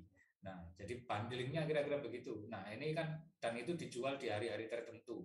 Nah, itu yang model-model begitu yang akhirnya nanti yang biasanya bapak-bapak kalau hari-hari tertentu itu beli minuman untuk mereka, gitu ya. Itu yang akhirnya ketika dibanding dengan popok bayi mau tidak mau juga harus mikirin anaknya. Oh iya, saya anak saya juga perlu popok bayi. Akhirnya produknya tetap kebeli. Nah, model-model seperti itu yang harus di up to date. Model-model pemasaran yang kemudian kita tidak bisa melihat bahwa satu sisi saja yang harus dijual, gitu ya. Terus no hoax, jangan sampai tipu-tipu dan segala macam terus harus sehat. Nah, sehingga ketika kita sudah mulai sehat, kita akhirnya juga uh, belajar untuk bijak ya. Jadi bijak bermedsos ini jangan asal kemudian bikin postingan dan segala macam terus kita harus melindungi privasi baik privasi kita ataupun privasi orang lain gitu ya. Kalau mau bikin testimoni juga harus ada izin dari orang yang mau uh, di post gitu ya nah, dan segala macam terus jaga etika terus selalu waspada dan uh, jangan mudah langsung percaya gitu ya. Jadi ketika tadi statement di terakhir sudah ditransfer ya jangan langsung percaya. Kita harus cek dulu gitu ya benar-benar cek dulu. Jadi filter akun-akun yang meragukan gitu ya jadi dan akun-akun yang kemudian itu uh, uh, biasanya nge-add asal gitu ya. Jadi tiba-tiba pertanyaan kita mau jadi banyak gitu ya. Nah ini juga kita perlu filter. Nah mungkin itu yang yang bisa saya sampaikan di pertemuan hari ini. Mudah-mudahan membawa manfaat. Paling tidak jangan pernah ragu untuk jualan dan pastikan ada yang dijual gitu ya. Nah, itu yang kata-kata terakhir kalau mau jualan online pastikan ada yang mau dijual. Terima kasih, jangan lupa follow akun Instagram saya di @adiprasnowo untuk kita diskusi lebih lanjut dan kalau mau tahu produk-produk saya bisa main di uh, akun Instagram saya di @adiprasnowo. Terima kasih, mohon maaf. Assalamualaikum warahmatullahi wabarakatuh. Saya kembalikan lagi ke Mbak Sarah. Waalaikumsalam warahmatullahi wabarakatuh. Terima kasih banyak Pak Adi Prasnowo atas pemaparan yang luar biasa. Tagline terakhir lucu banget. Jangan pernah ragu untuk jualan dan pastikan ada yang dijual. Yeah. Kalau kita jual kayak dijual, nggak ragu Pak. ya, kira-kira begitu ya. dan terima kasih banyak juga nih Pak. Kita dikasih tahu pentingnya security ya Pak ya. Kadang eh, orang-orang mungkin ya modal jualan doang tapi mereka nggak memperhatikan tuh pak keamanan keamanan kayak gitu apalagi tadi pas pak dibilang kan dari transfer ya kak ya mungkin untuk orang-orang yang baru kayak asik ditransfer apa namanya uh, pemasukan pertama nih tapi ternyata kita nggak ngeliat nih sisi-sisi kayak gitunya ternyata ya. ditipu atau apa berarti bukan nggak selamanya penjual doang ya Pak, ada kan tukang tipu jual online. Bahkan Betul. ada juga pembeli tipu ya Pak ya? Iya, betul. Makanya kita perlu waspada. Jadi uh, ini ekosistem ya. Jadi kita ngomong uh, kita harus jujur dan juga harus menghargai orang lain. Meskipun orang lain mau nipu kita, yang penting kita jujur dan kita harus terus waspada. Insya Allah nanti ekosistemnya juga akan bagus. Kira-kira begitu. Amin. Baik, terima kasih banyak Pak. Sama-sama, Mbak Zara. Atas paparannya luar biasa. Baik, sudah dua narasumber kita nih yang memaparkan materinya luar biasa di siang hari ini. Tadi ada Ibu Lila, terus ada Pak Adi. Nah, udah cantik, ganteng, ketemu cantik lagi nih kita siang hari ini. Langsung aja nih, kita lanjut narasumber kita ketiga kita yang itu adalah Ibu Krisma Dayanti selaku wirausaha muda online shop. Selamat siang, Ibu Krisma Dayanti. Selamat siang. Wah, ini sepertinya masih muda sekali nih. Mbak Krisma, Krisma Dayanti ya sepertinya nih ya. Ya, alhamdulillah masih muda ya, Mbak ya. masih muda kok, Mbak. Uh, apa kabarnya Mbak Krisma siang hari ini? Alhamdulillah baik. Alhamdulillah baik. Baik, apakah Mbak Krisma sudah siap untuk memaparkan materinya siang hari ini? Alhamdulillah siap. Uh, dan minta tolong untuk uh, menge-share screen PPT saya, Mbak ya. Oh baik, nanti akan saya beritahukan kepada tim untuk bantu men-share screen. Baik, kepada Mbak Krisma, dipersilakan untuk memaparkan materinya selama 20 menit, dan izinkan saya mengingatkan 5 menit sebelum waktu itu saya, Pak. Mbak, baik, uh, akan kita coba dulu ya, Mbak, untuk di share screen, bantu share screen. Ya, Bismillahirrahmanirrahim. Assalamualaikum warahmatullahi wabarakatuh. Uh, yang terhormat uh, pada materi hari ini, Bu Lila dan Pak Adi, Pak Vicky, dan Mbak Popi. Nah, yang saya banggakan yaitu peserta webinar pada siang hari ini. Nah, next. Nah, perkenalkan nama saya Krisma Dayanti, ya masih dibilang masih muda ya. Eh, lahiran saya 98 dan alamat saya Sukarame, Kota Bandar Lampung. Kegiatan saya sehari-hari yaitu salah satunya eh, bekerja di sekolah swasta, yang kedua eh, yaitu mempunyai online shop dari SMA sampai sekarang, alhamdulillah. Yang ketiga, kegiatan saya yaitu meneruskan studi saya di Pasca Sarjana UIN Raden Intan Lampung. Moto saya bahwa, bahwa manusia hanya memperoleh apa yang telah diusahakannya. Ya, next. Nah, manusia dan teknologi. Nah, di era digital pada saat ini, tatanan baru terbentuk ya, di mana manusia dan teknologi saling hidup berdampingan dan berkolaborasi dan di mana uh, pad, uh, biasanya kita dari pagi sampai ketemu pagi lagi kita selalu uh, berdekatan dengan media teknologi gitu ya. Next selanjutnya.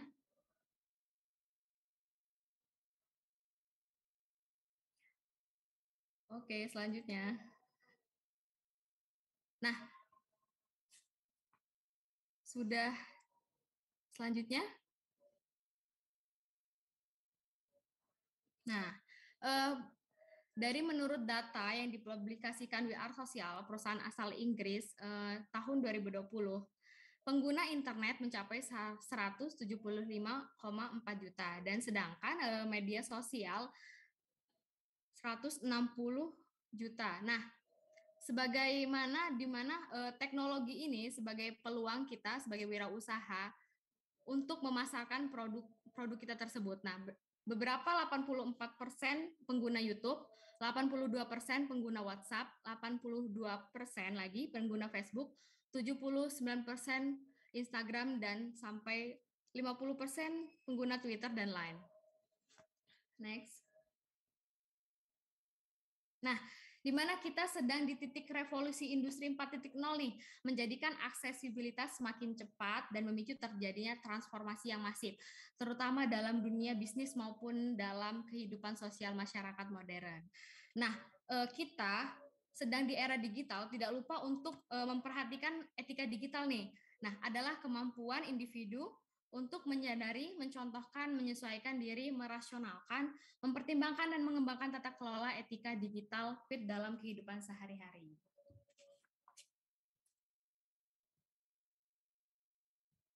Nah, uh, ada empat lingkup ya, empat lingkup. Uh, belum ke situ kayaknya Mbak. ada empat lingkup uh, di, di di etika digital yaitu adalah kesadaran, integritas, kebajikan, dan tanggung jawab.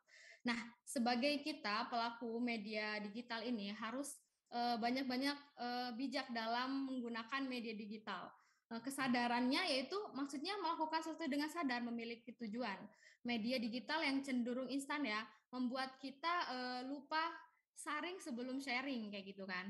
Nah, terus integritas kita nih, kejujuran kita dalam menyebarkan konten-konten yang baik dan uh, jarang yang baik dan menghilangkan hoax-hoax uh, di dunia digital.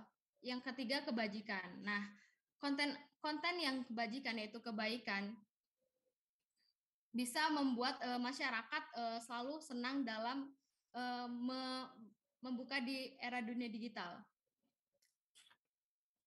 Teman-teman, rendahnya etika digital uh, berpeluang menciptakan ruang digital yang tidak tidak menyenangkan dan terbanyak konten-konten negatif itu selanjutnya itu tanggung jawab. Uh, tanggung jawab adalah uh, salah satu tanggung jawab kita sebagai pelaku uh, media digital untuk uh, menge-share yang hal-hal positif dan menghilangkan rasara dan hoax. Selanjutnya. Ya. Nah, dengan adanya media digital ini, jual beli online ini sangat marak sekali dan sangat uh, digandrungi ya oleh kaum milenialis. ya jual beli online ini praktik jual beli melalui jaringan internet dengan skala nasional, regional, regional benua maupun ke seluruh penjuru, penjuru dunia. Dijalankan secara efisien dan masif melalui jaringan internet. Praktik ini memudahkan proses transaksi pihak penjual dan pembeli. Nah, mudahnya dalam kita di digital bisnis ini maka kehadiran marketplace Indonesia membuat masyarakat eh, beralih ke sistem jual beli online. Nah, eh, dengan data Direktur Pemberdayaan Informatika, Direktorat Jenderal Aplikasi Informatika Kementerian Kominfo, Septriana Tangkari menyatakan eh, pertumbuhan nilai perdagangan elektronik e-commerce di Indonesia mencapai 78 persen. Nah, apa saja sih yang lagi booming marketplace di Indonesia? selanjutnya. Nah, bisa kita lihat ya jumlah pengguna aktif e-commerce di Indonesia pada tahun 2021 eh, dengan data CNN. Nah, yang pertama adalah Tokopedia. Kita tahu sendiri ya, Tokopedia adalah eh, aplikasi yang ada di Indonesia gitu, yang dibuat oleh eh, Indonesia. Yang kedua yaitu Shopee, yang ketiga Bukalapak, yang keempat Lazada, dan yang kelima Blibli. Nah, marketplace ini sebenarnya memudahkan untuk kita berjualan uh, online dan uh, memperluas jaringan kita gitu. Selanjutnya. Nah, manfaat media untuk bisnis bisnis online itu apa sih? Nah, uh, memperluas jaringan. Nah, media ini sangat mudah diakses seluruh dunia ya. Nah, makanya itu kita bisa bekerja sama melalui Eh, media digital ini seperti marketplace yang yang saya jelaskan tadi, kita bisa bekerja sama dengan eh, berbagai daerah, berbagai provinsi, berbagai sampai berbagai negara. Yang kedua, meningkatkan popularitas produk. Nah, bagaimana sih caranya meningkatkan popularitas produk? Eh, kita mempunyai media sosial ya seperti Instagram, Facebook ataupun TikTok. Eh, di sini mungkin ada yang seleb-selebgram yang udah mempunyai uh, pengikutnya yang beratus-ratus k. Nah atau punya mempunyai pertemanan yang selebgram. Nah ini bisa menjadi bahan atau media promosi kita nih. Nah mendapatkan pelangganan baru. Banyak fitur-fitur ya di media-media sosial yang sangat memudahkan kita untuk mencari uh, konsumen yaitu melalui hashtag bisa terus umpamanya kalau kita jualan uh, masker nih masker kan lagi booming lagi kita lagi di masa pandemi nih uh, kebutuhan yang pasti yang pasti kita gunakan sehari-hari adalah masker, hand sanitizer seperti itu kan. Kita gunakan hashtag hand sanitizer murah atau hashtag hand sanitizer original kayak gitu kan. Terus menjaga hubungan baik dan kepuasan pelanggan. Nah, kepuasan pelanggan adalah nomor satu ya dalam uh, bisnis online. Yang ketiga, mengembangkan target pasar dan menyaingi kompetitor. Nah, mengembangkan target pasar sebenarnya uh, kita jualan itu pasti harus uh, mempunyai target pasar kita. Umpamanya kalau saya target pasar saya anak muda gitu, umurnya 18, 20. Nah, saya harus mencari nih lingkup-lingkup mana, grup-grup mana yang yang di situnya ada anak muda gitu. Terus dan menyaingi kompetitor. Nah, ketika kita di media sosial, kita bisa melihat nih Eh, teknik-teknik uh, pemasaran yang dilakukan kompetitor dengan produk dengan produk yang dijual yang sama. Selanjutnya. Nah, penting sekali ketika kita berjualan online mengedepankan etika. Etika bisnis ya ada kalau umpamanya anak e-, ekonomi itu pasti belajar namanya etika bisnis. Nah, di sini juga ada etika bisnis dalam berjualan online. Yang pertama, selalu bersikap ramah kepada pembeli. Nah, kenapa kita harus bersikap ramah kepada pembeli? Itu untuk mendapatkan uh, kesan yang pertama ketika kita bersikap ramah berinteraksi di media sosial dengan melayani pelanggan kita, itu adalah menjadi image dan kesan yang baik untuk ketika pembeli akan membeli lagi gitu. Membalas semua pertanyaan yang diajukan pembeli. Nah, eh, pasti ditemukan banyak ya sifat-sifat konsumen eh, dengan karakteristik yang berbeda-beda.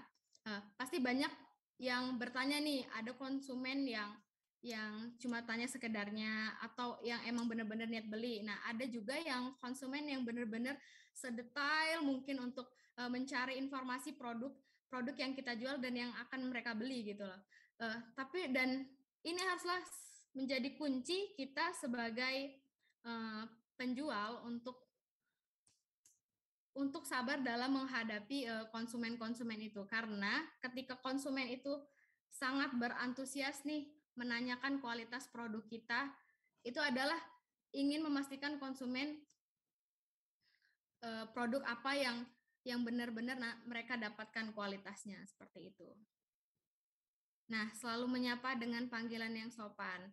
Nah, saya sebutkan lagi ya, kalau umpamanya kita eh, target pemasarannya itu adalah uh, orang tua, kita bisa memanggil dengan ibu atau bapak dengan kata-kata yang sopan. Kalau umpamanya yang masih anak muda muda-muda kan pasti bilang e, iya sis ataupun iya iya sayang, tapi kan sayangnya kan pasti dengan yang cewek ya rata-rata. Jujur dalam menuliskan deskripsi barang. Nah, jujur dalam menuliskan deskripsi barang itu uh, jujur adalah salah satu kunci usaha kita supaya usaha kita bertahan lama ya. Nah, di mana kita menjelaskan dari detail ukuran ataupun e, berat barang. Kalau umpamanya jualan kerudung nih, kain apa yang kita jual kayak gitu. Seperti uh, terus packing barang dengan rapi. Nah, packing barang dengan rapi itu adalah uh, selalu sa salah satu uh, uh, penutup kita tentang uh, ketulusan kita untuk ketulusan kita untuk melayani pelanggan. Dengan packing rapi itu akan memberi kesan bahwa uh, bahwa pelanggan itu dihargai dan menjadi integritas kita ataupun image kita menjadi online shop yang baik dan incredible.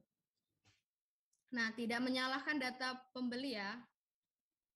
Uh, di mana uh, dat di mana biasanya konsumen uh, selalu menerangkan nomor, keterangan, alamat, Nah, itu adalah salah satu kunci pengusaha yaitu menjaga uh, kerahasiaan privasi konsumen.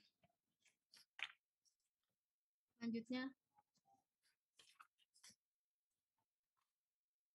Nah, di etika digital ini di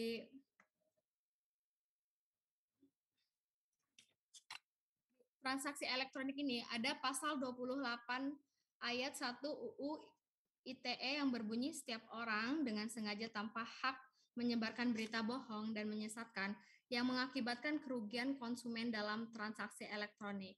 Nah, makanya eh, tadi di dalam empat lingkup etika digital yaitu eh, ada kesadaran, integritas, kebajikan, tanggung jawab itu adalah adalah salah satu kunci di mana eh, etika itu sangat penting. Nah, teman-teman, eh, berinteraksi dan bertransaksi elektronik itu merupakan aktivitas eh, sangat menyenangkan ya. Ketika eh, ketika tingginya etika digital itu yang diterapkan oleh pelaku eh, media digital. Mungkin itu saja uh, dari pemaparan saya. Saya kembalikan ke moderator. Baik, terima kasih banyak Kak. Kepada Mbak Krisma Dayanti atas pemaparan yang luar biasa. Gue tadi juga dikasih tahu nih sama Mbak Krisma nih, adanya undang-undang uh, ya Mbak ya, pentingnya berarti kita dalam etika. Kalau misalkan kita pun di dunia digital aja etikanya nggak ada, nah ada tuh pasal 28 ayat 1 UU ITE Mbak ya, dan juga tadi dikasih tahu nih sama Mbak uh, Mbak Krisma bahwa adanya etik, cara-cara etika berjualan itu gimana sih? Jujur. Terus juga kita mesti packing barang dengan rapi. Itu itu satu etika yang mbak karena kalau misalnya kita packingnya asal kan juga konsumen pasti kayak kok nih nih tempat online gini banget sih? Kapok ya kan? Terus tidak menyak terus tidak menyalahgunakan membeli online. Itu juga selalu bersikap ramah kayak gitu-gitu. Terima kasih banyak nih kepada Mbak Krisma atas uh, tips-tipsnya lah supaya kita juga menjadi yeah. pembeli yang punya etika ya Mbak ya. Iya, yeah, yang bijak. Dan juga menjadi penjual yang punya etika juga baik. Terima kasih banyak Mbak Krisma sekali lagi. Baik, sudah ketiga narasumber kita nih yang memaparkan materinya luar biasa di siang hari ini. Tak terasa bahkan sudah menuju sore hari nih.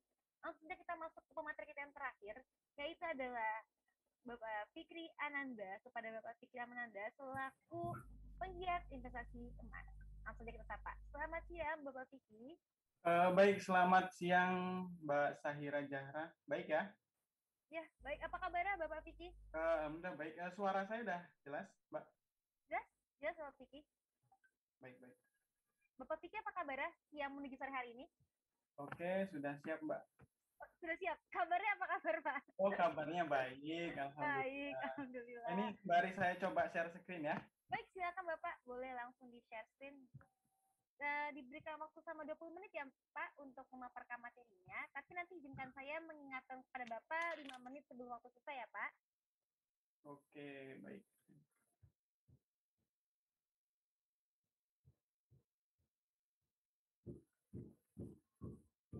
Uh, baik, Assalamualaikum warahmatullahi wabarakatuh. Uh, kepada peserta semua, peserta seminar digital online, uh, izinkan saya mengisi materi digital culture untuk 20 menit ke depan ya Mbak ya. Uh, baik, uh, di sini uh, materi yang diserahkan kepada saya oleh panitia yaitu nabung atau belanja online itu pilih mana gitu. Nah.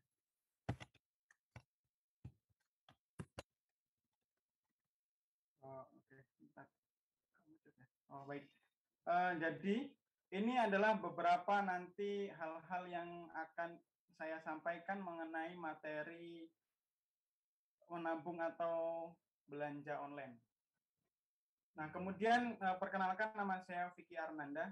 Uh, tadi juga di uh, mohon maaf ke tertinggal ini salam hormat saya untuk seluruh materi pemateri yang sudah uh, menjelaskan beberapa poin-poin mengenai seminar digital uh, barusan tadi ada Mbak Ibu Lila, kemudian ada Bapak Adi, kemudian ada Ibu Kris Damayanti, kemudian uh, kepada peserta semuanya yang insya Allah dalam keadaan sehat semuanya. Uh, baik, saya lanjutkan.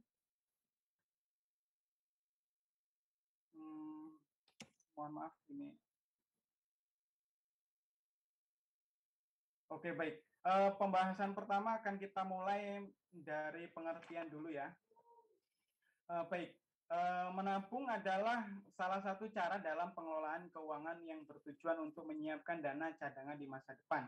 Nah, artinya uh, menabung ini merupakan bentuk penyiapan kita terhadap apa yang kita miliki saat ini untuk kita di kemudian hari. Nah, kemudian untuk belanja itu merupakan pemerolehan barang atau jasa dari penjual dengan tujuan untuk membeli barang pada saat itu. Nah, artinya saya bisa lanjut. Nah, belanja itu merupakan bentuk pemenuhan kebutuhan. Nah, eh, siapa sih sekarang yang tidak belanja gitu? Siapa sih sekarang yang tidak ingin kebutuhannya itu terpenuhi? Nah, maka kegiatan yang dilakukan untuk pemenuhan kebutuhan itu adalah dengan belanja. Nah, seperti gambar uh, di samping bahwa untuk memasukkan dalam uh, barang ke dalam troli kita, sekarang kita tidak hanya menggunakan tangan kita mengambil kemudian kita masukkan ke dalam troli, tapi juga kita itu sekarang bisa menggunakan HP untuk ataupun handphone, media digital, sosial yang yang masuk dalam platform penjualan, kita bisa ambil barang di situ, kemudian kita masukkan ke keranjang kita juga itu bisa. Nah, itu bentuk merupakan bentuk suatu pemenuhan kebutuhan.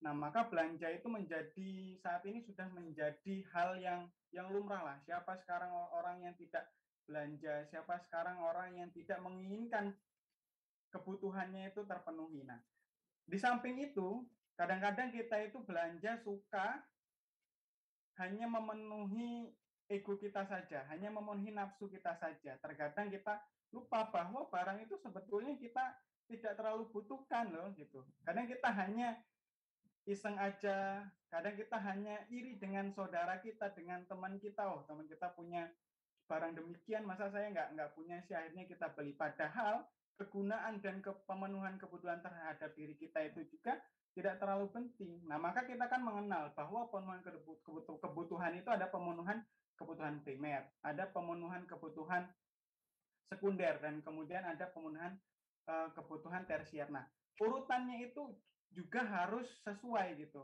Artinya sesuai itu pemenuhan yang perlu benar-benar kita penuhi terlebih dahulu yang harus kita belanjakan. Nah, maka itu akan menjadi suatu kepentingan dan itu menjadi sebuah kecerdasan eh, warga-warga yang sekarang ini konsultif lah terhadap hal-hal yang demikian itu. Nah, kemudian kalau menabung ini sama dengan investasi artinya menyiapkan cadangan harta kita untuk dapat kita keluarkan di kemudian hari. Nah, eh, yang harus kita garis bawahi adalah bahwa belanja dan menabung ini adalah bukan menjadi suatu hal yang yang terpisah. Artinya ini akan menjadi hal yang saling berhubungan. Contohnya nih, ketika kita memiliki keinginan terhadap suatu barang, tetapi kita pada saat ini tidak mempunyai kemampuan ekonomi untuk membeli barang tersebut, ya, tidak mempunyai kemampuan, nah kita akan awalnya dengan dengan menabung. Nah, maka ini akan menjadi suatu berkaitan ataupun nih kita itu menabung karena pemenuhan kebutuhan kita itu semuanya sudah terpenuhi mulai dari sandang, papan kita ya kan dan pangan kita itu semuanya sudah terpenuhi. Nah, maka pembelanjaan kita juga harus harus baik di situ.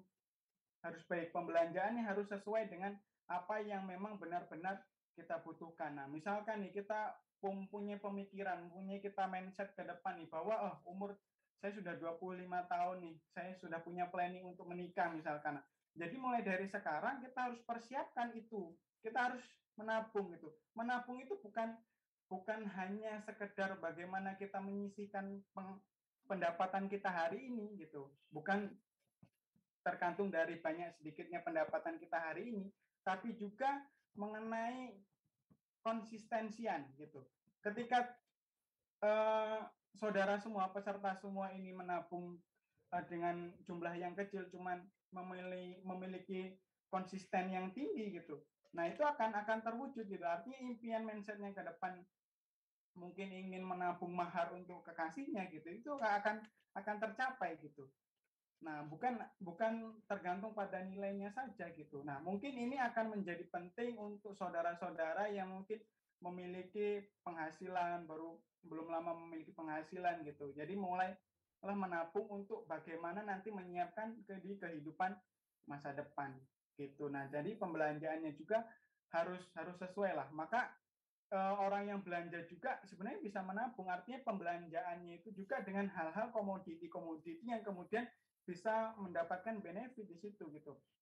Nah, saya sebagai penggiat investasi emas juga saya melakukan dua kegiatan ini sekaligus gitu. Artinya saya belanja dan saya menabung.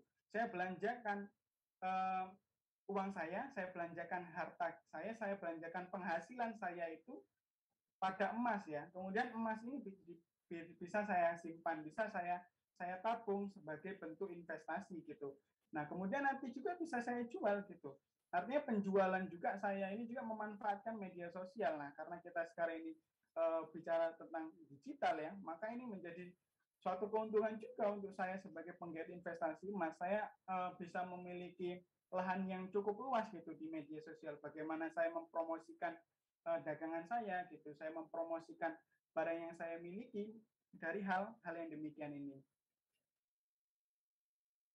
Uh, yang selanjutnya, nah, kenapa harus harus emas gitu? Investasinya kenapa harus emas? Nah, ini ada beberapa alasan yang akan menjelaskan terhadap diri kita itu kenapa kita harus berinvestasi atau menabung emas. Nah, belanjanya itu ya harus belanja emas sih kalau kalau saya pribadi ya karena apa nah emas itu memiliki nilai universal dan permintaan tinggi nah emas tidak akan kehilangan nilai intrinsik dan akan selalu dikenal dihargai di mana-mana dan memiliki peminat tinggi gitu. Nah siapa sih yang nggak nggak ingin emas gitu loh? Nggak nggak ingin punya emas. Nah ingin punya emas itu nggak nggak harus dengan dengan mahal sebenarnya. Cukup minimal ada 36.000 sekarang kita sudah uh, bisa punya emas nih. Contohnya uh, saya ada beberapa produk nih, produk emas yang bisa teman-teman lihat nanti juga uh, di akhir ini juga bisa teman-teman lihat nih.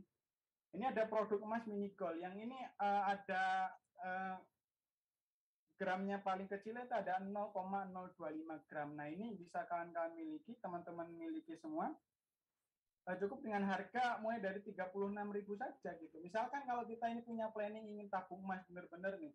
Misalkan kita sehari menyisihkan uh, uang pulsa kita gitu kan, uang kuota kita 1000 untuk membeli emas gitu. Uh, selama satu bulan kita bisa menabung 0,025 gram misalkan.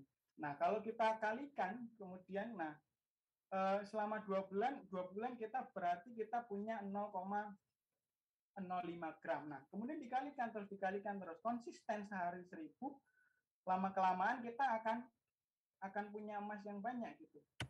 Nah, kemudian alasan-alasan lagi kenapa kita harus harus menabungnya emas gitu ya.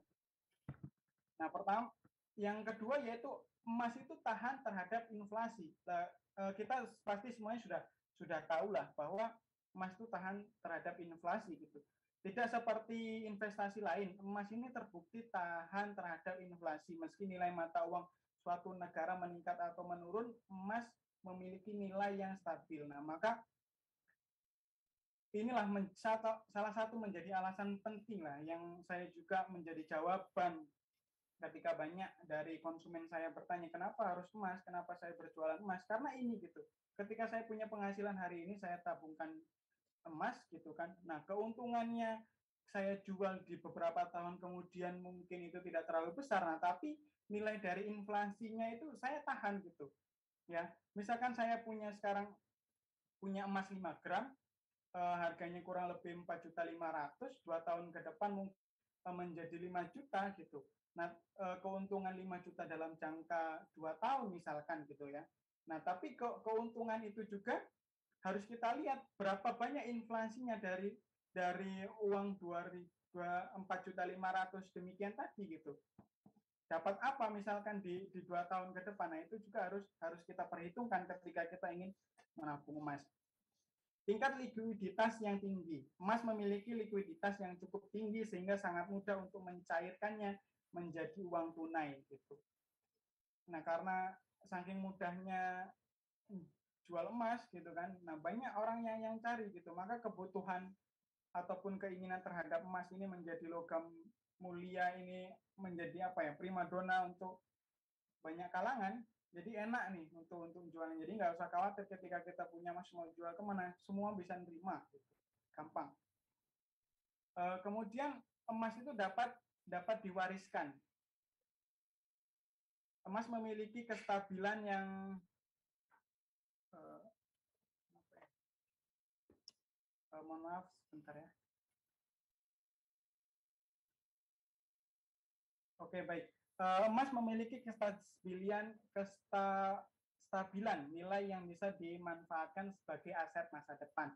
Nah maka ini tadi adalah juga bentuk suatu investasi artinya menjamin kita di kehidupan masa depan ketika kita sudah mempunyai uh, logam mulia yang kita kumpulkan dari masa lalu sehingga masa depannya kita akan akan terjamin gitu. Uh, aman dari ketidakpastian geopolitik. Pada masa-masa ketegangan dunia meningkat, masyarakat sering kali memilih emas karena nilainya yang stabil mengungguli investasi lain. Harganya sering kali naik ketika kepercayaan pada pemerintah rendah.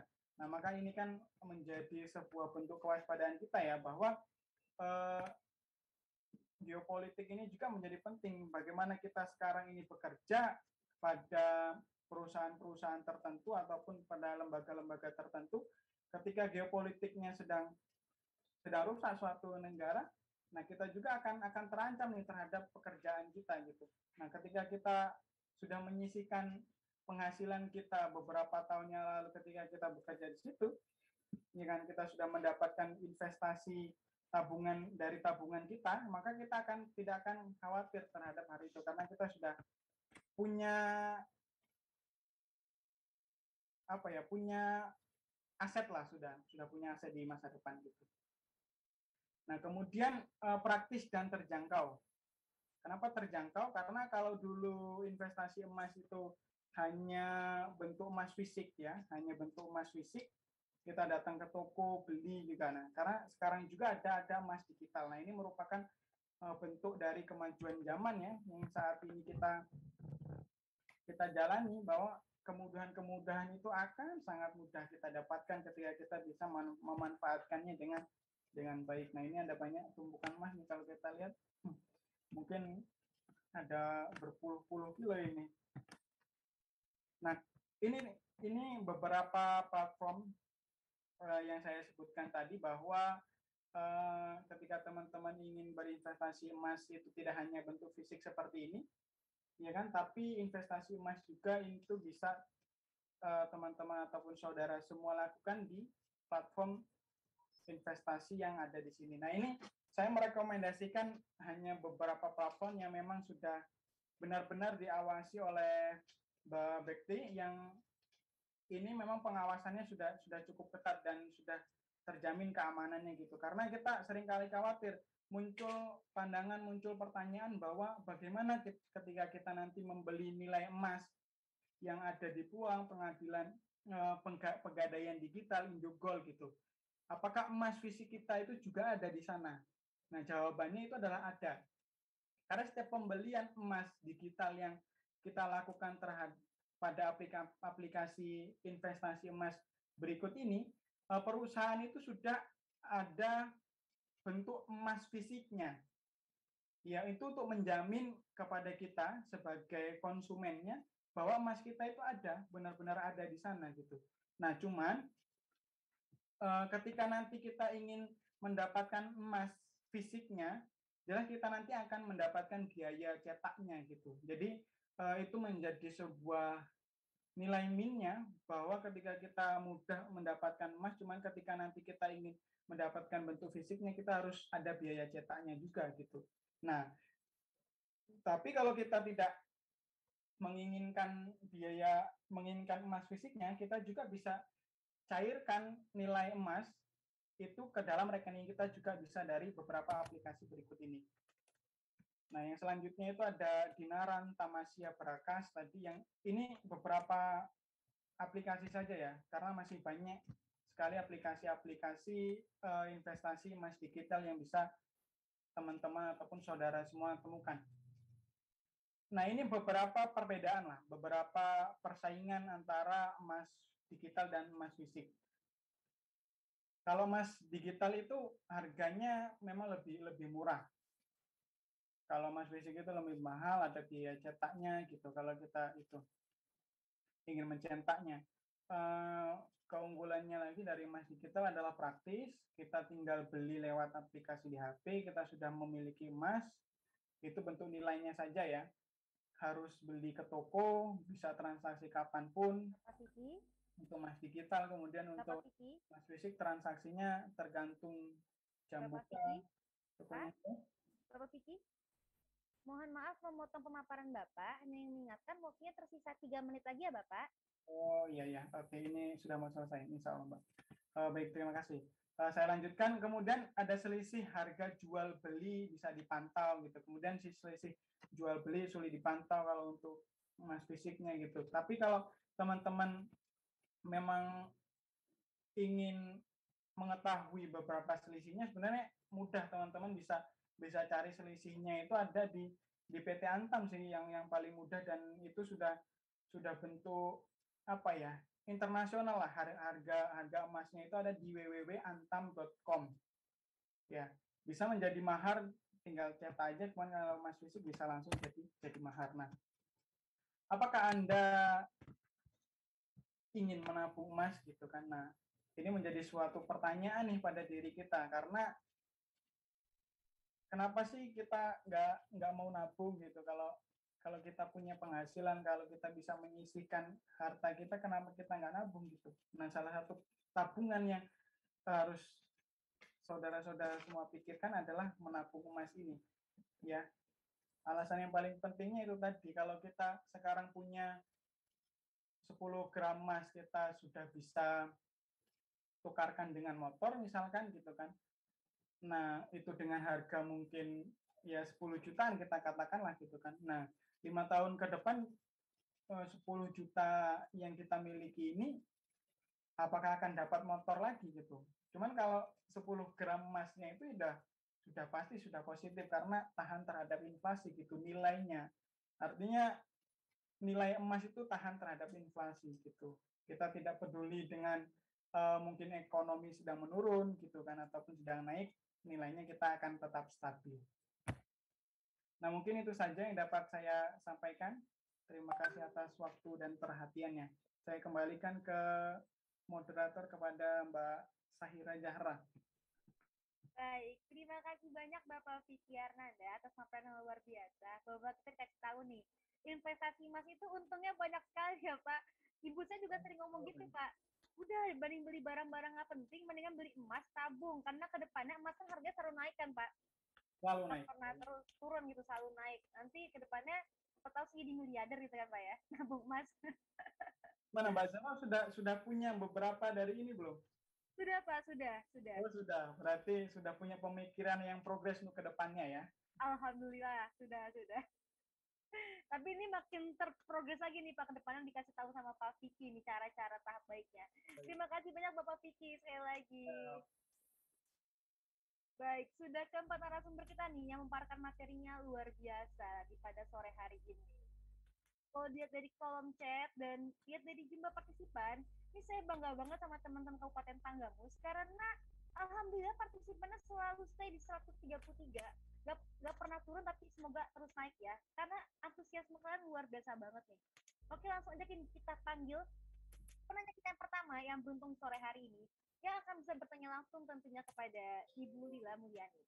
Penanya pertama kita adalah Kak Haidar Bagir. Kepada Kak Haidar Bagir dipersilakan untuk mengaktifkan kamera dan mikrofonnya agar bisa bertanya langsung tentunya kepada Ibu Lila Mulyani. Kepada Kak Haidar Bagir, Bolehkah langsung mengaktifkan kameranya, Kak? Pasti Ibu Lila penasaran banget nih, siapa sih penanyanya? Wah, baik pada Kak Haidar, diberikan waktu satu menit ya, Kak, untuk bertanya kepada Ibu Lila, dan kepada Ibu Lila diberikan waktu dua menit untuk menanggapinya.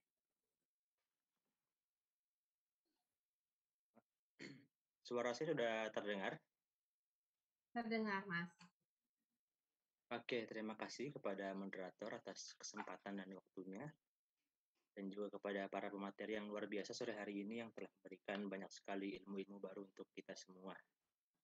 Baik, sedikit saya setelah mendengar pen, pencerahan dari Ibu Rila, ada beberapa hal yang ingin saya tanyakan. Salah satunya yaitu mengenai uh, ini ya apa namanya marketplace dan juga pengaruhnya terhadap kehidupan kita. Apakah munculnya platform-platform digital seperti marketplace Shopee, kemudian seperti Lazada dan dan lainnya itu memberikan dampak negatif untuk para penjual-penjual yang di pasar atau semacamnya? Karena adanya persaingan yang ketat kan apakah dengan adanya marketplace semacam ini memberikan dampak negatif kepada para penjual? Ya itu saja Bu. Terima kasih. Oke baik langsung dijawab ya Kak Zahra ya? Ya Ibu silakan. Oke ya uh, terima kasih pertanyaannya Kak Haidar. Uh, di Lampung ini posisi? Iya di Lampung ya Bu. Oh oke okay, ya baik terima kasih. Hmm, pertanyaannya bagus banget nih ya. Jadi memang ini adalah seperti apa ya efek uh, negatifnya ya. Mungkin boleh dibilang begitu ya. Jadi uh, perkembangan uh, teknologi digital yang saat ini sangat masif ya, sangat cepat. Itu uh, sebenarnya memang meninggalkan beberapa uh, apa ya cerita yang kurang uh, baik ya untuk beberapa orang yang tadi yang tidak bisa mengejar uh, cepatnya uh, teknologi ini bergerak gitu ya. Kita sebut memang uh, bisa di uh, kelompokkan adalah orang-orang yang memang uh, biasanya sih uh, pengaruh ke usia atau ya lebih ke usia sih saya rasa ya. Jadi memang uh, saya melihat uh, dengan jelas contohnya misalnya orang tua saya itu uh, sangat takut dengan memainkan gadgetnya jadi pencet-pencet itu juga takut salah gitu ya apalagi dia uh, bertransaksi dengan online itu pasti dia nggak akan percaya banget karena baginya uh, bertransaksi itu adalah harus langsung gitu ya. Jadi tidak ada tidak ada resiko akan uh, tertipu atau segala macam. Jadi harus lihat bendanya gitu. Jadi itu memang gap uh, dari uh, usia ya. Memang uh, sehingga itu membuat uh, beberapa kelompok uh, orang itu tidak bisa mengikuti perkembangan cepatnya uh, era digital yang kita lebih khususkan ngomongin ke toko online tadi ya marketplace tadi. Nah jadi uh, kalau tadi pertanyaannya adalah gimana itu apakah itu tidak memberikan apa tadi uh, dampak ya gitu ya jadi sebenarnya yeah. sih uh, memang harus juga kita sadari sebenarnya marketplace ini punya punya market yang memang sudah segmented ya jadi sudah dipastikan bahwa generasi generasi-generasi orang tua saya, mungkin nggak tahu kalau orang tuanya Kak Haidar ya, mungkin itu belum masuk dalam generasi kolonial, generasi kol eh, orang tua saya yang lahir di sebelum merdeka gitu ya. Nah itu sebenarnya uh, mungkin ada beberapa yang cukup uh, bisa mengikutinya gitu ya, tapi sebagian besar mereka akan tetap bertransaksi dengan uh, konvensional. Jadi memang uh, sudah dipastikan kelompok itu tidak menjadi bagian dari segmennya uh, uh, marketplace kita yang kita bicarakan saat ini gitu ya. Jadi secara usia mereka memang juga bukan usia yang produktif sehingga memang uh, pengguna mereka menggunakan teknologi, mereka beradaptasi dengan beradaptasi dengan teknologi itu sangat rendah gitu dibandingkan dengan uh, kelompok masyarakat lain yang secara usia mereka masih uh, bisa mengikuti teknologi ini gitu loh. Jadi uh, kalau kita bilang kasihan ya, maksudnya misalnya uh, uh, kita sebutlah seperti itu gitu ya, kok sedih ya, maksudnya berarti ini akan seperti uh, memakan uh, pasar dari uh, kelompok penjual-penjual uh, yang masih konvensional misalnya gitu ya, mungkin saya rasa uh, memang ada pasti uh, dampaknya gitu ya, memang pasti ada dampaknya, tetapi toko-toko uh, atau penjual-penjual yang masih konvensional itu dan sampai saat ini pun sebenarnya masih ada marketnya. Masih ada marketnya. Tetapi memang uh, sebagian besar market yang dulu itu uh, hanya mainnya di konvensional, sekarang marketnya bergeser ke digital gitu loh. Jadi memang uh, itu memang sudah uh, hukum alamnya ya. Jadi memang itu akan uh, membuat gap seperti itu. Saya rasa seperti itu jawabannya. Pak Haidar, apakah cukup uh, menjawab? Iya, terima kasih buat atas penjelasan. Oh baik, terima kasih. Terima kasih banyak Kak Haidar atas pertanyaannya. Memang benar ya Bu, kadang kita juga ragu nih apakah penjual yang langsung sama online nih aman-aman aja nih kondisinya. Karena kan dulu juga sempat ada faktor mungkin ojek online atau ojek pangkalan itu kan sempat ribut tuh kan.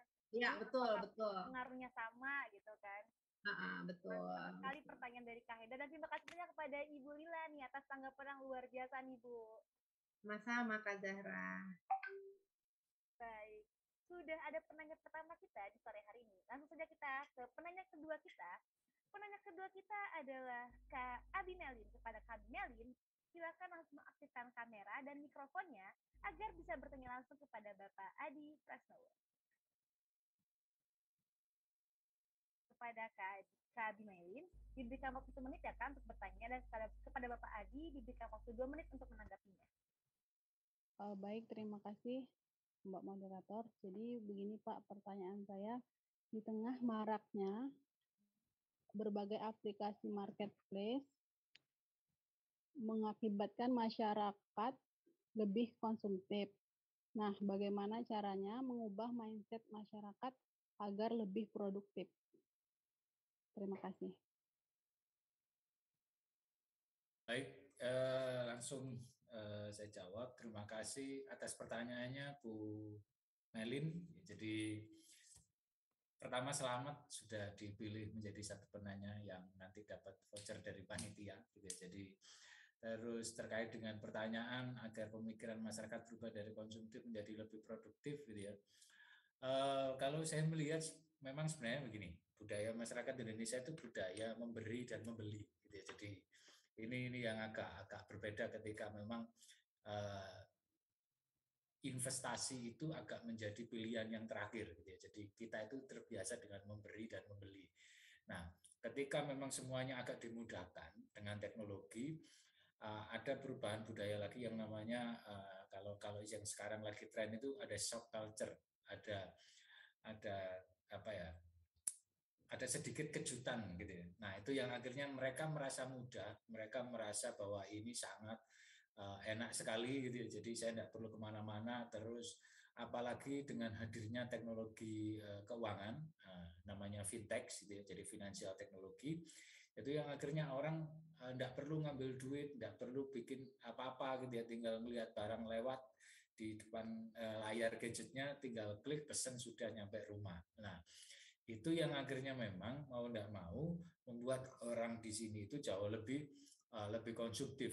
Terlihatnya memang kira-kira begitu. Padahal sebenarnya enggak kalau zaman dulu mungkin mungkin orang akan lebih berpikir dua kali ketika yang dipegang itu berupa cash jadi kalau harus bayar, harus beli itu harus mengeluarkan duit dulu.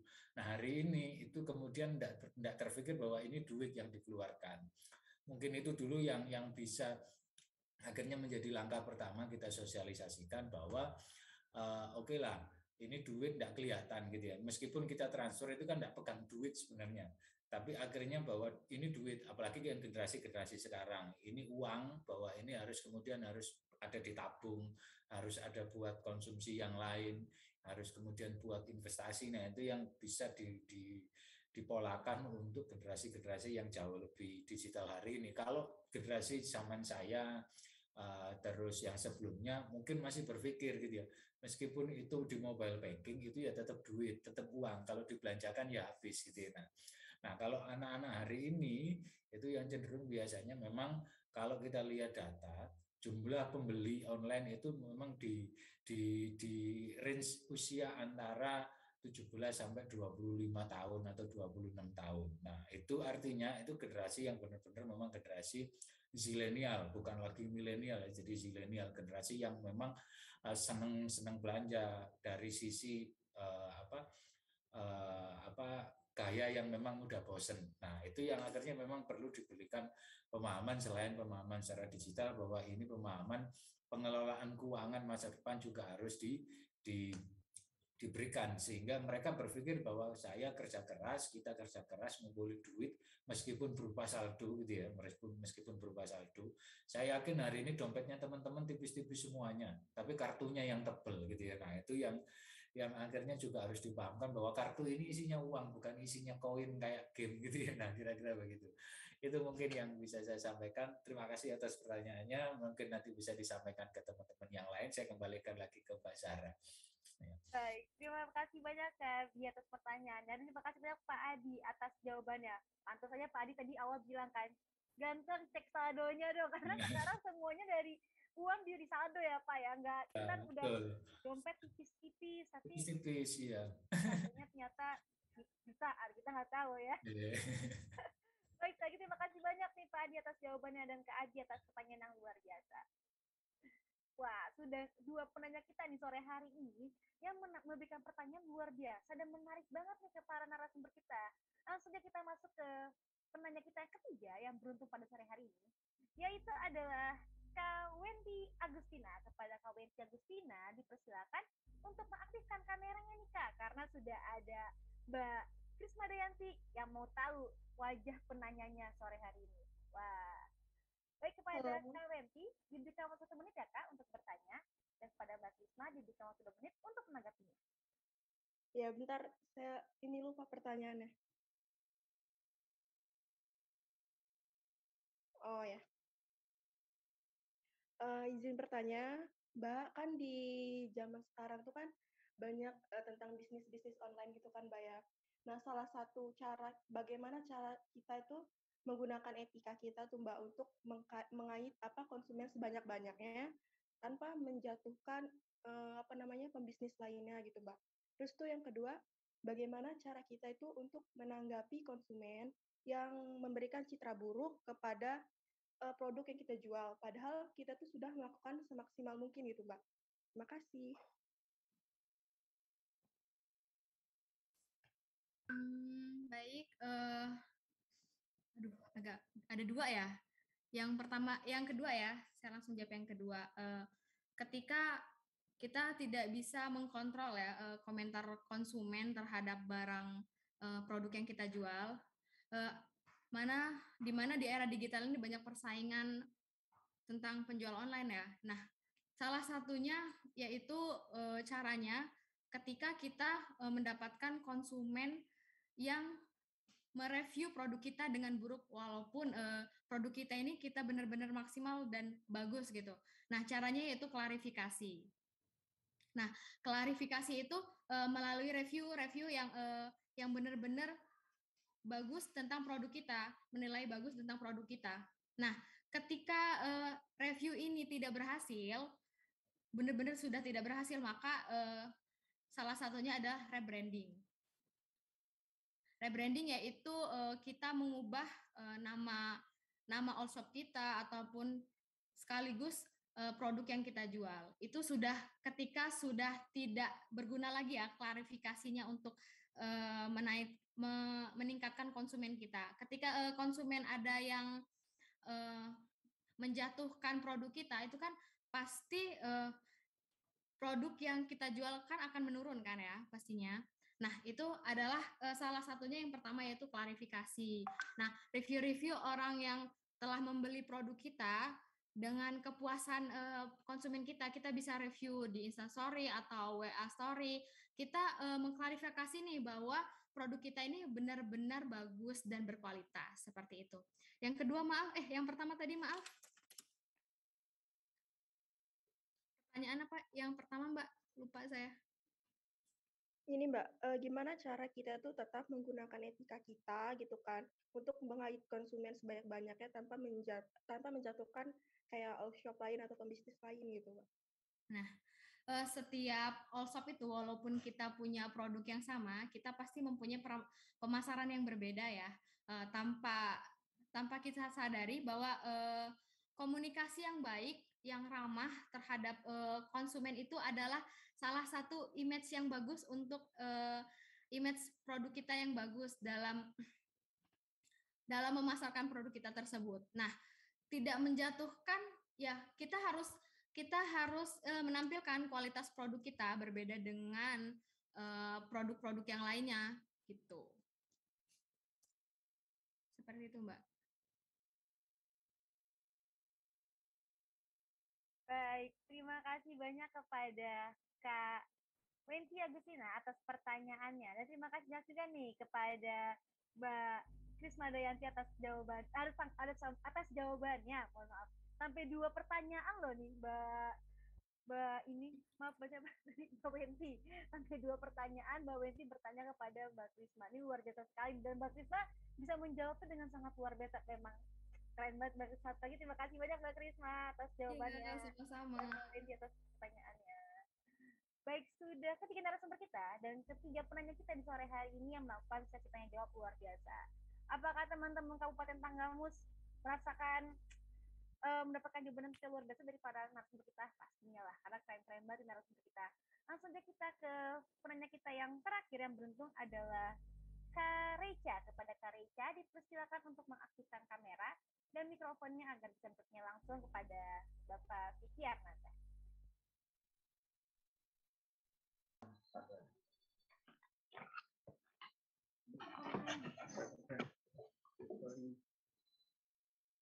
Kita waktu ya, bertanya.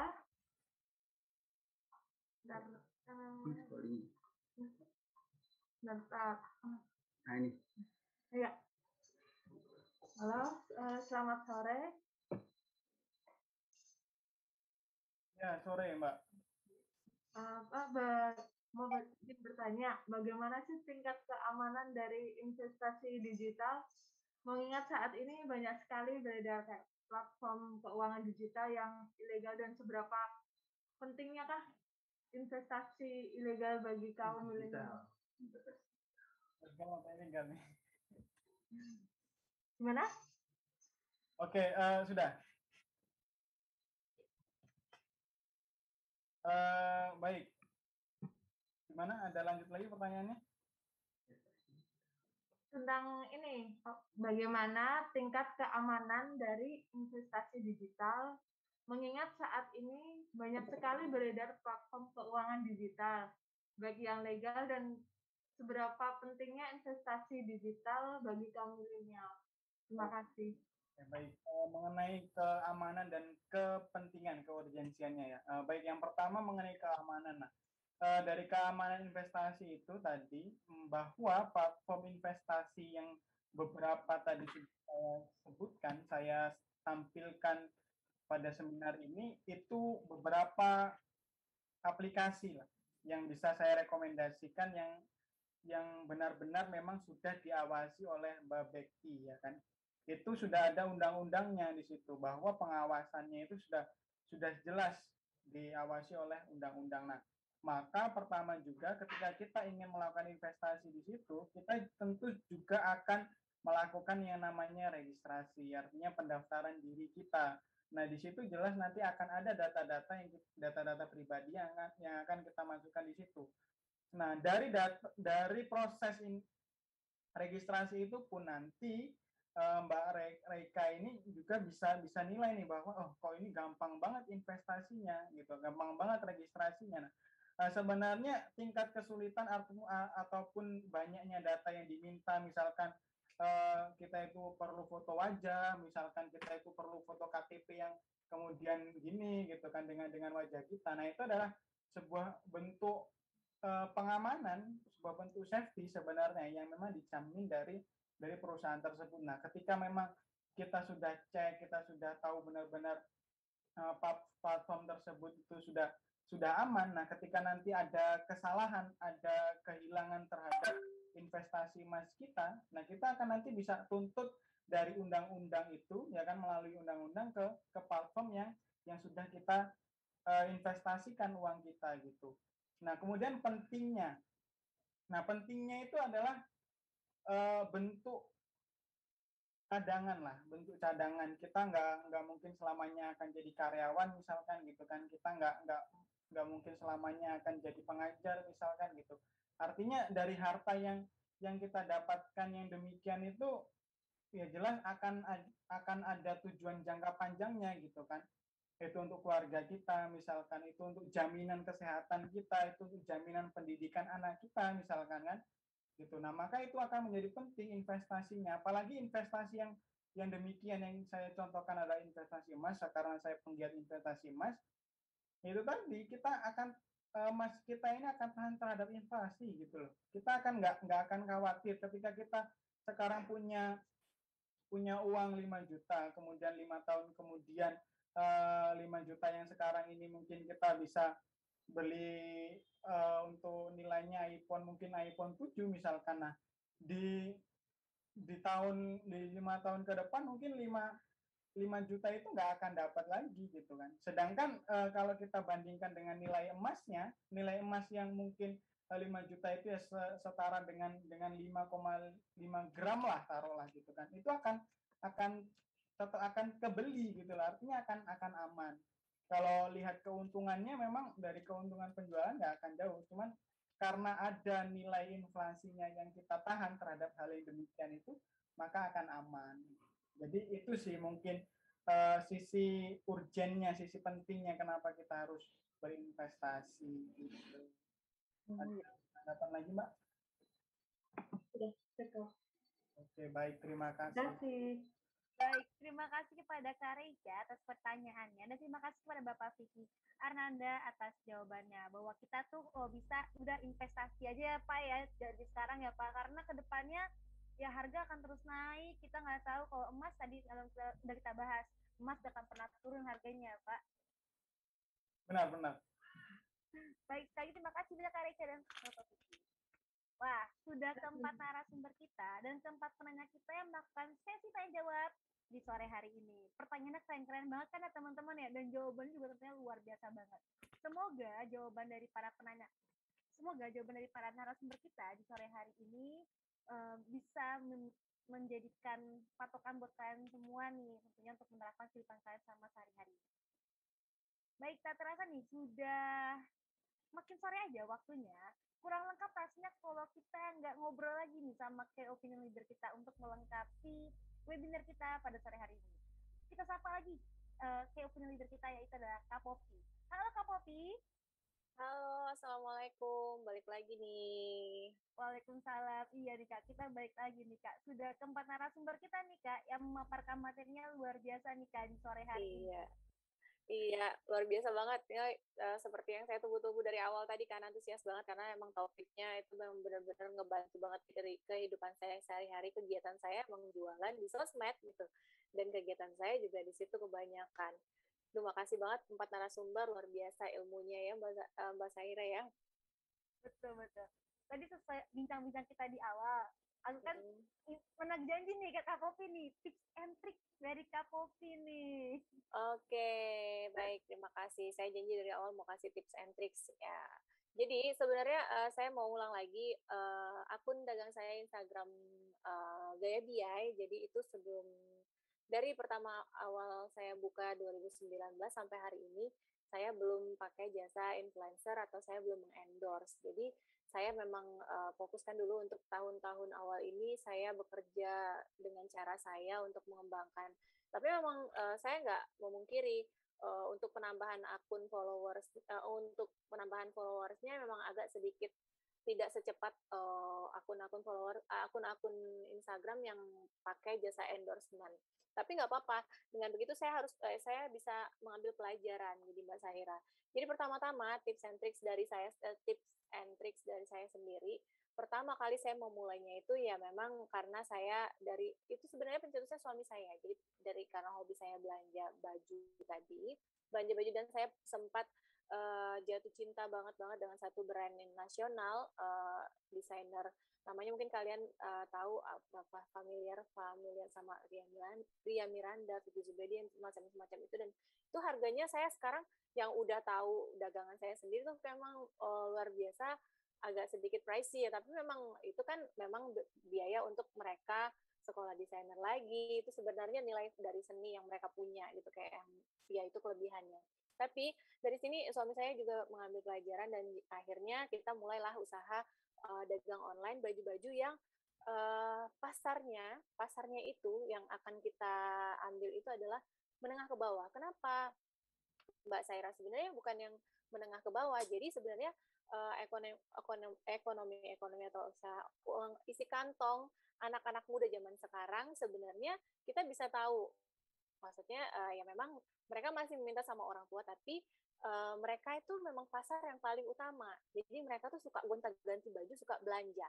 Jadi kata suami saya, yang pasar yang kita tuju tuh yang kayak gini-gini nih, anak uh, kuliahan atau yang baru kerja gitu, yang gadis-gadis yang memang atau ibu-ibu muda yang memang benar-benar sukanya fashion tapi uh, modalnya uh, kita usahakan nggak yang terlalu mengikat mengingat kayak kayak, kayak mencekik gitu maksudnya. Kayak kalau misalnya modal untuk berganti-ganti pakaian fashion supaya bisa jadi fashionable nggak harus mahal itu loh yang harus kita bangun. Jadi pertama-tama kita dan uh, saya dan suami saya itu tentukan pasar dulu. Benar kata uh, tadi ada juga dari ibu Lila tersirat di situ disebutkan kayak memang uh, kita tentukan dulu kayak yang uh, apa uh, follower dominan ya. Jadi dari situ dominannya tuh yang mengikuti kita tuh siapa gitu. Jadi dari follower saya pengikutnya ya seumuran saya gitu dan teman-teman saya saya lihat juga yang banyak mengikuti saya itu yang yang nggak kenal ya maksudnya teman-teman saya yang follower saya itu maksudnya ya yang saya nggak kenal itu memang uh, perekonom maksudnya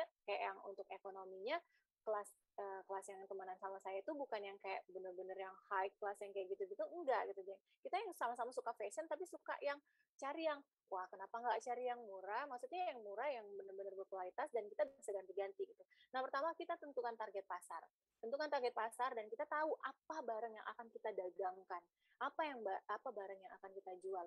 Nah sebenarnya dari tentukan target pasar itu ada lagi uh, satu poin lagi yang uh, kita kadang-kadang melupakan apa yang mau kita jual itu kita nggak tahu. Kalau misalnya kita mau jual barang apa yang sekedar cuma happening aja tapi kita tidak mengenali dan kita tidak tahu tidak mengerti itu kita akan ketinggalan. Kalau misalnya kita langsung melangkah ke kita langsung jual aja. Jadi harus kita kenali dulu barang apa terus selera mereka itu yang seperti apa. Kita harus pelajari dulu. Tapi kalau misalnya memang dari awal kita yang step-step kayak gitu. Kita emang agak sedikit lama cuma perat, uh, kalau misalnya uh, perhatikan lah kalau misalnya memang kita dari awal itu kita perhatikan di awal-awalnya dulu kita bangun dulu nanti ke depannya kita akan berjalan dengan enak aja gitu kan. Karena kita udah tahu oh ini sebenarnya ini nih kebutuhannya dan sebenarnya kita nih butuhnya belinya yang kayak begini nih kayak, kayak saya sekarang.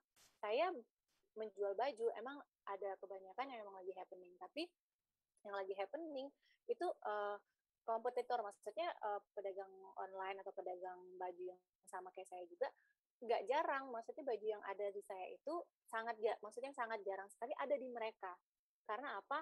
Balik lagi ke selera. Jadi kita harus pahami dulu apa yang kita jual kita sesuaikan dulu dengan kebutuhan apa yang mereka mau. Yang follower kita kan kita udah kenal nih mbak Zahira apa aja yang mereka mau kita sudah kenal kan. Jadi yang kita jual ya memang fokus ke situ dulu gitu. Nanti yang lainnya tuh cuma kayak bumbu-bumbu aja gitu kayak yang ada nih baju yang jadi yang saya tahu nih follower saya badannya tuh kira-kira kayak yang uh, size-nya dari L ke atas.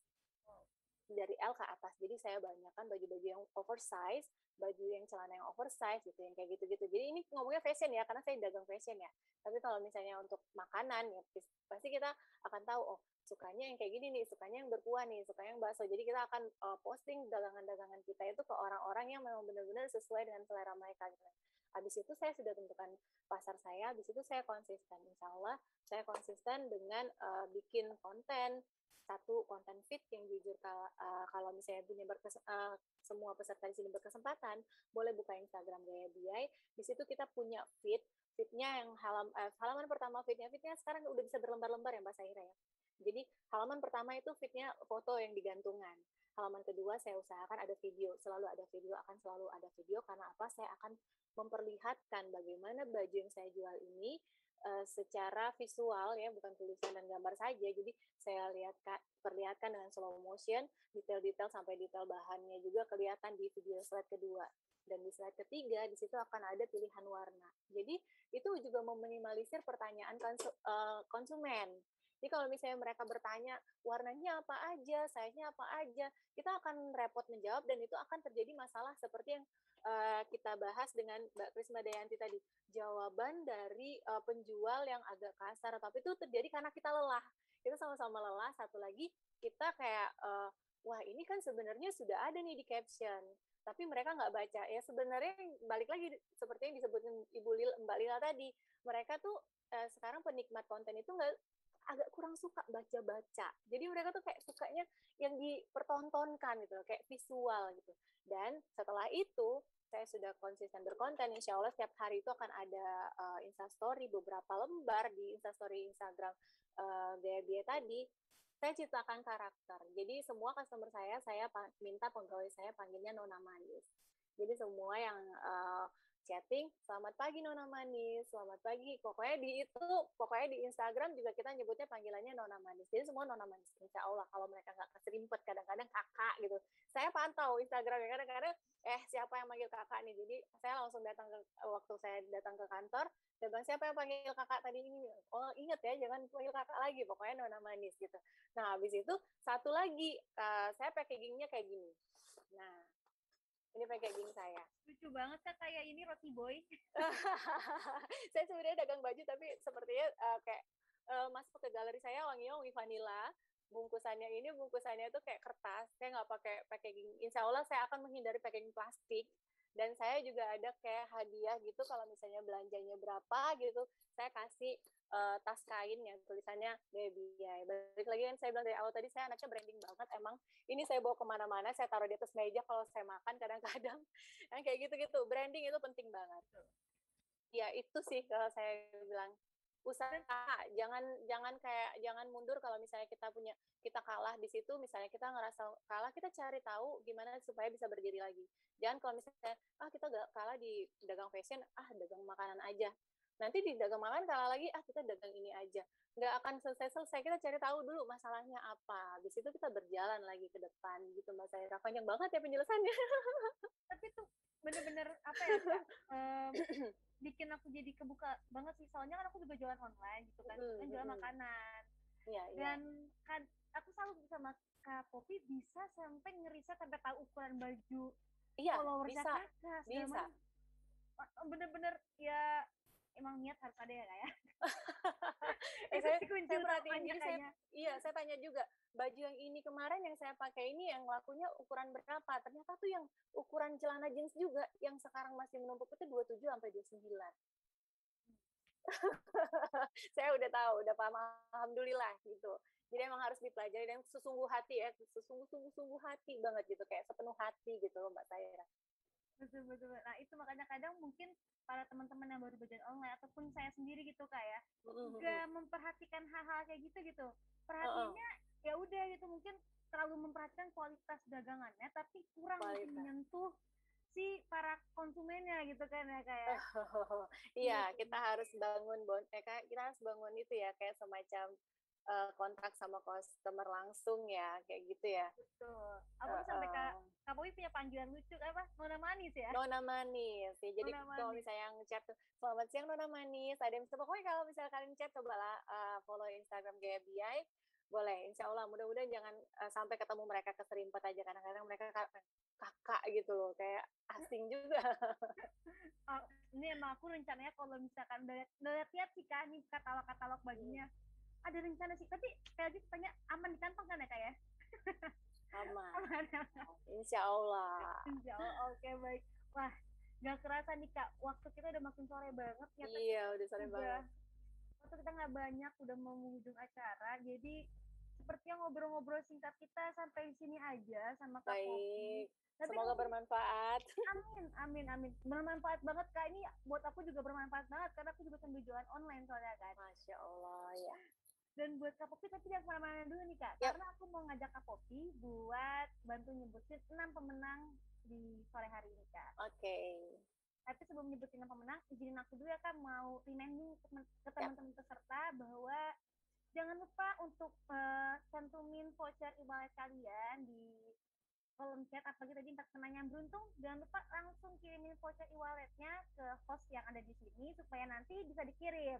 Kalau betul nih voucher e-walletnya buat apa nih? Nge-grab atau mungkin beli baju di gaya gaya gaya ya kayak ya? gaya bi gaya gaya di gaya biai gaya biai gaya biai gaya biai susah ya iya. Masih asing masih asing. Tapi ntar mama ke branding kok kak.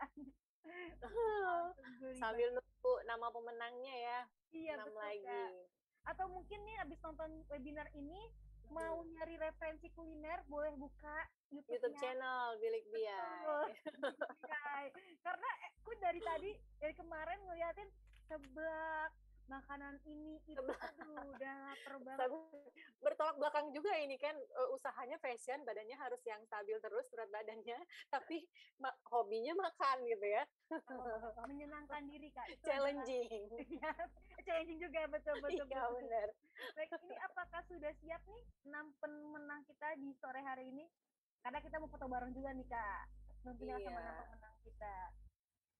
oh mbak Saira suka jajan online juga nggak Suka suka banget. suka jajan online itu juga bisa Bener. dijadiin itu loh pundi-pundi rezeki kalau jajan online jajannya agak banyak terus tuh nanti diposting kasih nilai tambah bisa dijual barangnya Oh baru tahu aku mbak. iya kayaknya aku bakal pengen nanya ke Mbak Popi nih langsung ke boleh DM ya DM DM kita kayak boleh apa ya? DM Oke, wah ini kita udah Siap. siap nih. Boleh langsung Oke. tampilkan enam pemenangnya. Nah ini dia nih Oke. kak, kita. Wah Saya baca. ganteng nih kak. Waduh. Baik, terima kasih untuk yang udah stay tune sampai akhir. Alhamdulillah ada enam nih yang berkesempatan dan eh oh, bukan enam yang udah dapet ya Imani. Tapi saya kebacanya cuma empat loh ini mbak. Eh, ketutup soalnya tulisannya tiga Ada lagi. Oke, Kak.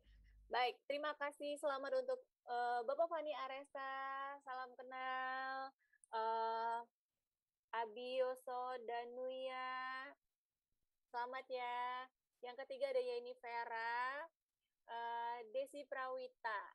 Yang keempatnya. Yang kelima apa ini? Nggak kelihatan namanya. Yang kelima ada Kak Vika Ayu dan Ay. terakhir ada Kak Fadli HN. Baik, selamat. Selamat. Salam kenal. Salam kenal. Boleh memasang wajah terbaiknya dan tercerahnya di Nah, kita foto ini. ya. Iya, betul, Kak. Boleh gaya literasi digital semuanya teman-teman, Bapak-bapak, Bapak, teman-teman semua. Baik. Literasi dalam hitungan ketiga. Satu, dua, tiga. Lagi. Satu, dua, tiga. Oke, luar biasa sekali nih. Sekali lagi saya ucapkan selamat atas kemenangan kalian karena mereka selalu dari awal sampai akhir sesi nonton nih Kak webinar ini luar biasa banget nih. Terima kasih dan selamat. Terima kasih juga Semoga- kepada Kak Popi. Ya, terima kasih juga. Semoga ilmunya bermanfaat. Saya tuh kalau misalnya nggak disuruh berhenti tuh nggak bisa berhenti ngomong. Jadi takutnya nggak habis-habis apa yang ngomongin. Gak apa Kak, emang seru banget soalnya kalau udah ngebahas kayak gini, apalagi yang Kakak juga suka kan Kak? Iya. Baik, terima kasih banyak Kak Popi atas sharing-sharingnya. sama-sama. Tentunya menambah wawasan dan melengkapi webinar kita pada sore hari ini. Dan sekali lagi saya ucapkan selamat kepada para pemenang kita dan jangan lupa kirimin voucher e-wallet kalian ke host yang ada di Zoom ini. Baik, tak terasa nih, kita sudah berada di penghujung acara. Akhirnya berakhir sudah webinar kita pada sore hari ini. Semoga apa yang tadi sudah dibahas, materi yang disampaikan, dapat diaplikasikan di kehidupan kita sehari-hari. Baik, sebelum menutup webinar ini, alangkah baiknya kita berdoa menurut agama dan kepercayaan masing-masing. Berdoa dipersilakan.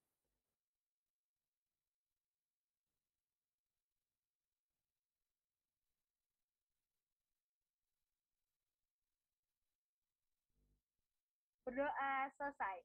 Terima kasih sekali lagi kepada narasumber kita, Ibu Lila Mulyani, Bapak Adi Prasowo, Mbak Krisma Dayanti, dan Bapak Vicky Arnanda atas paparan yang sangat luar biasa dan keren banget tentunya menambah wawasan untuk kita semua.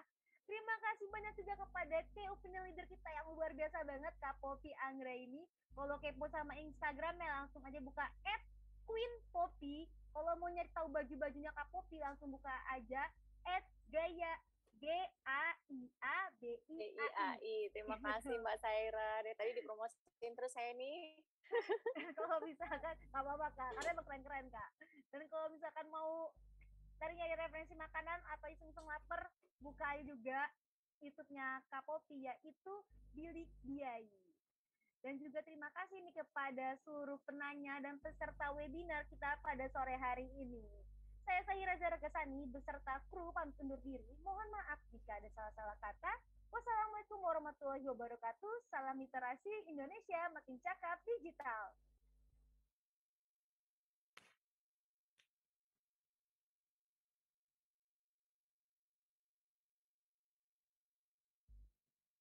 Terima kasih semuanya. Saya izin pamit dulu. Iya Kak Popi, terima kasih banyak Kak. Sehat selalu buat Kak. Izin pamit dulu ya. Iya, itu ada linknya subscribe ya, dibantu. Mbak Saira salam kenal. Salam kenal juga Kak Popi. Ya, terima kasih. Izin pamit. Ya, Kak wassalamualaikum. Popi, aku sudah follow ya. Iya, nanti aku follow back. Terima kasih. Nanti kita DM-an ya. Senang Terima banget. kasih. Assalamualaikum warahmatullahi Waalaikumsalam warahmatullahi wabarakatuh. Pamit. Izin live Zahra. Ya, Mbak. Hati-hati. Ya. Terima kasih. Sehat selalu.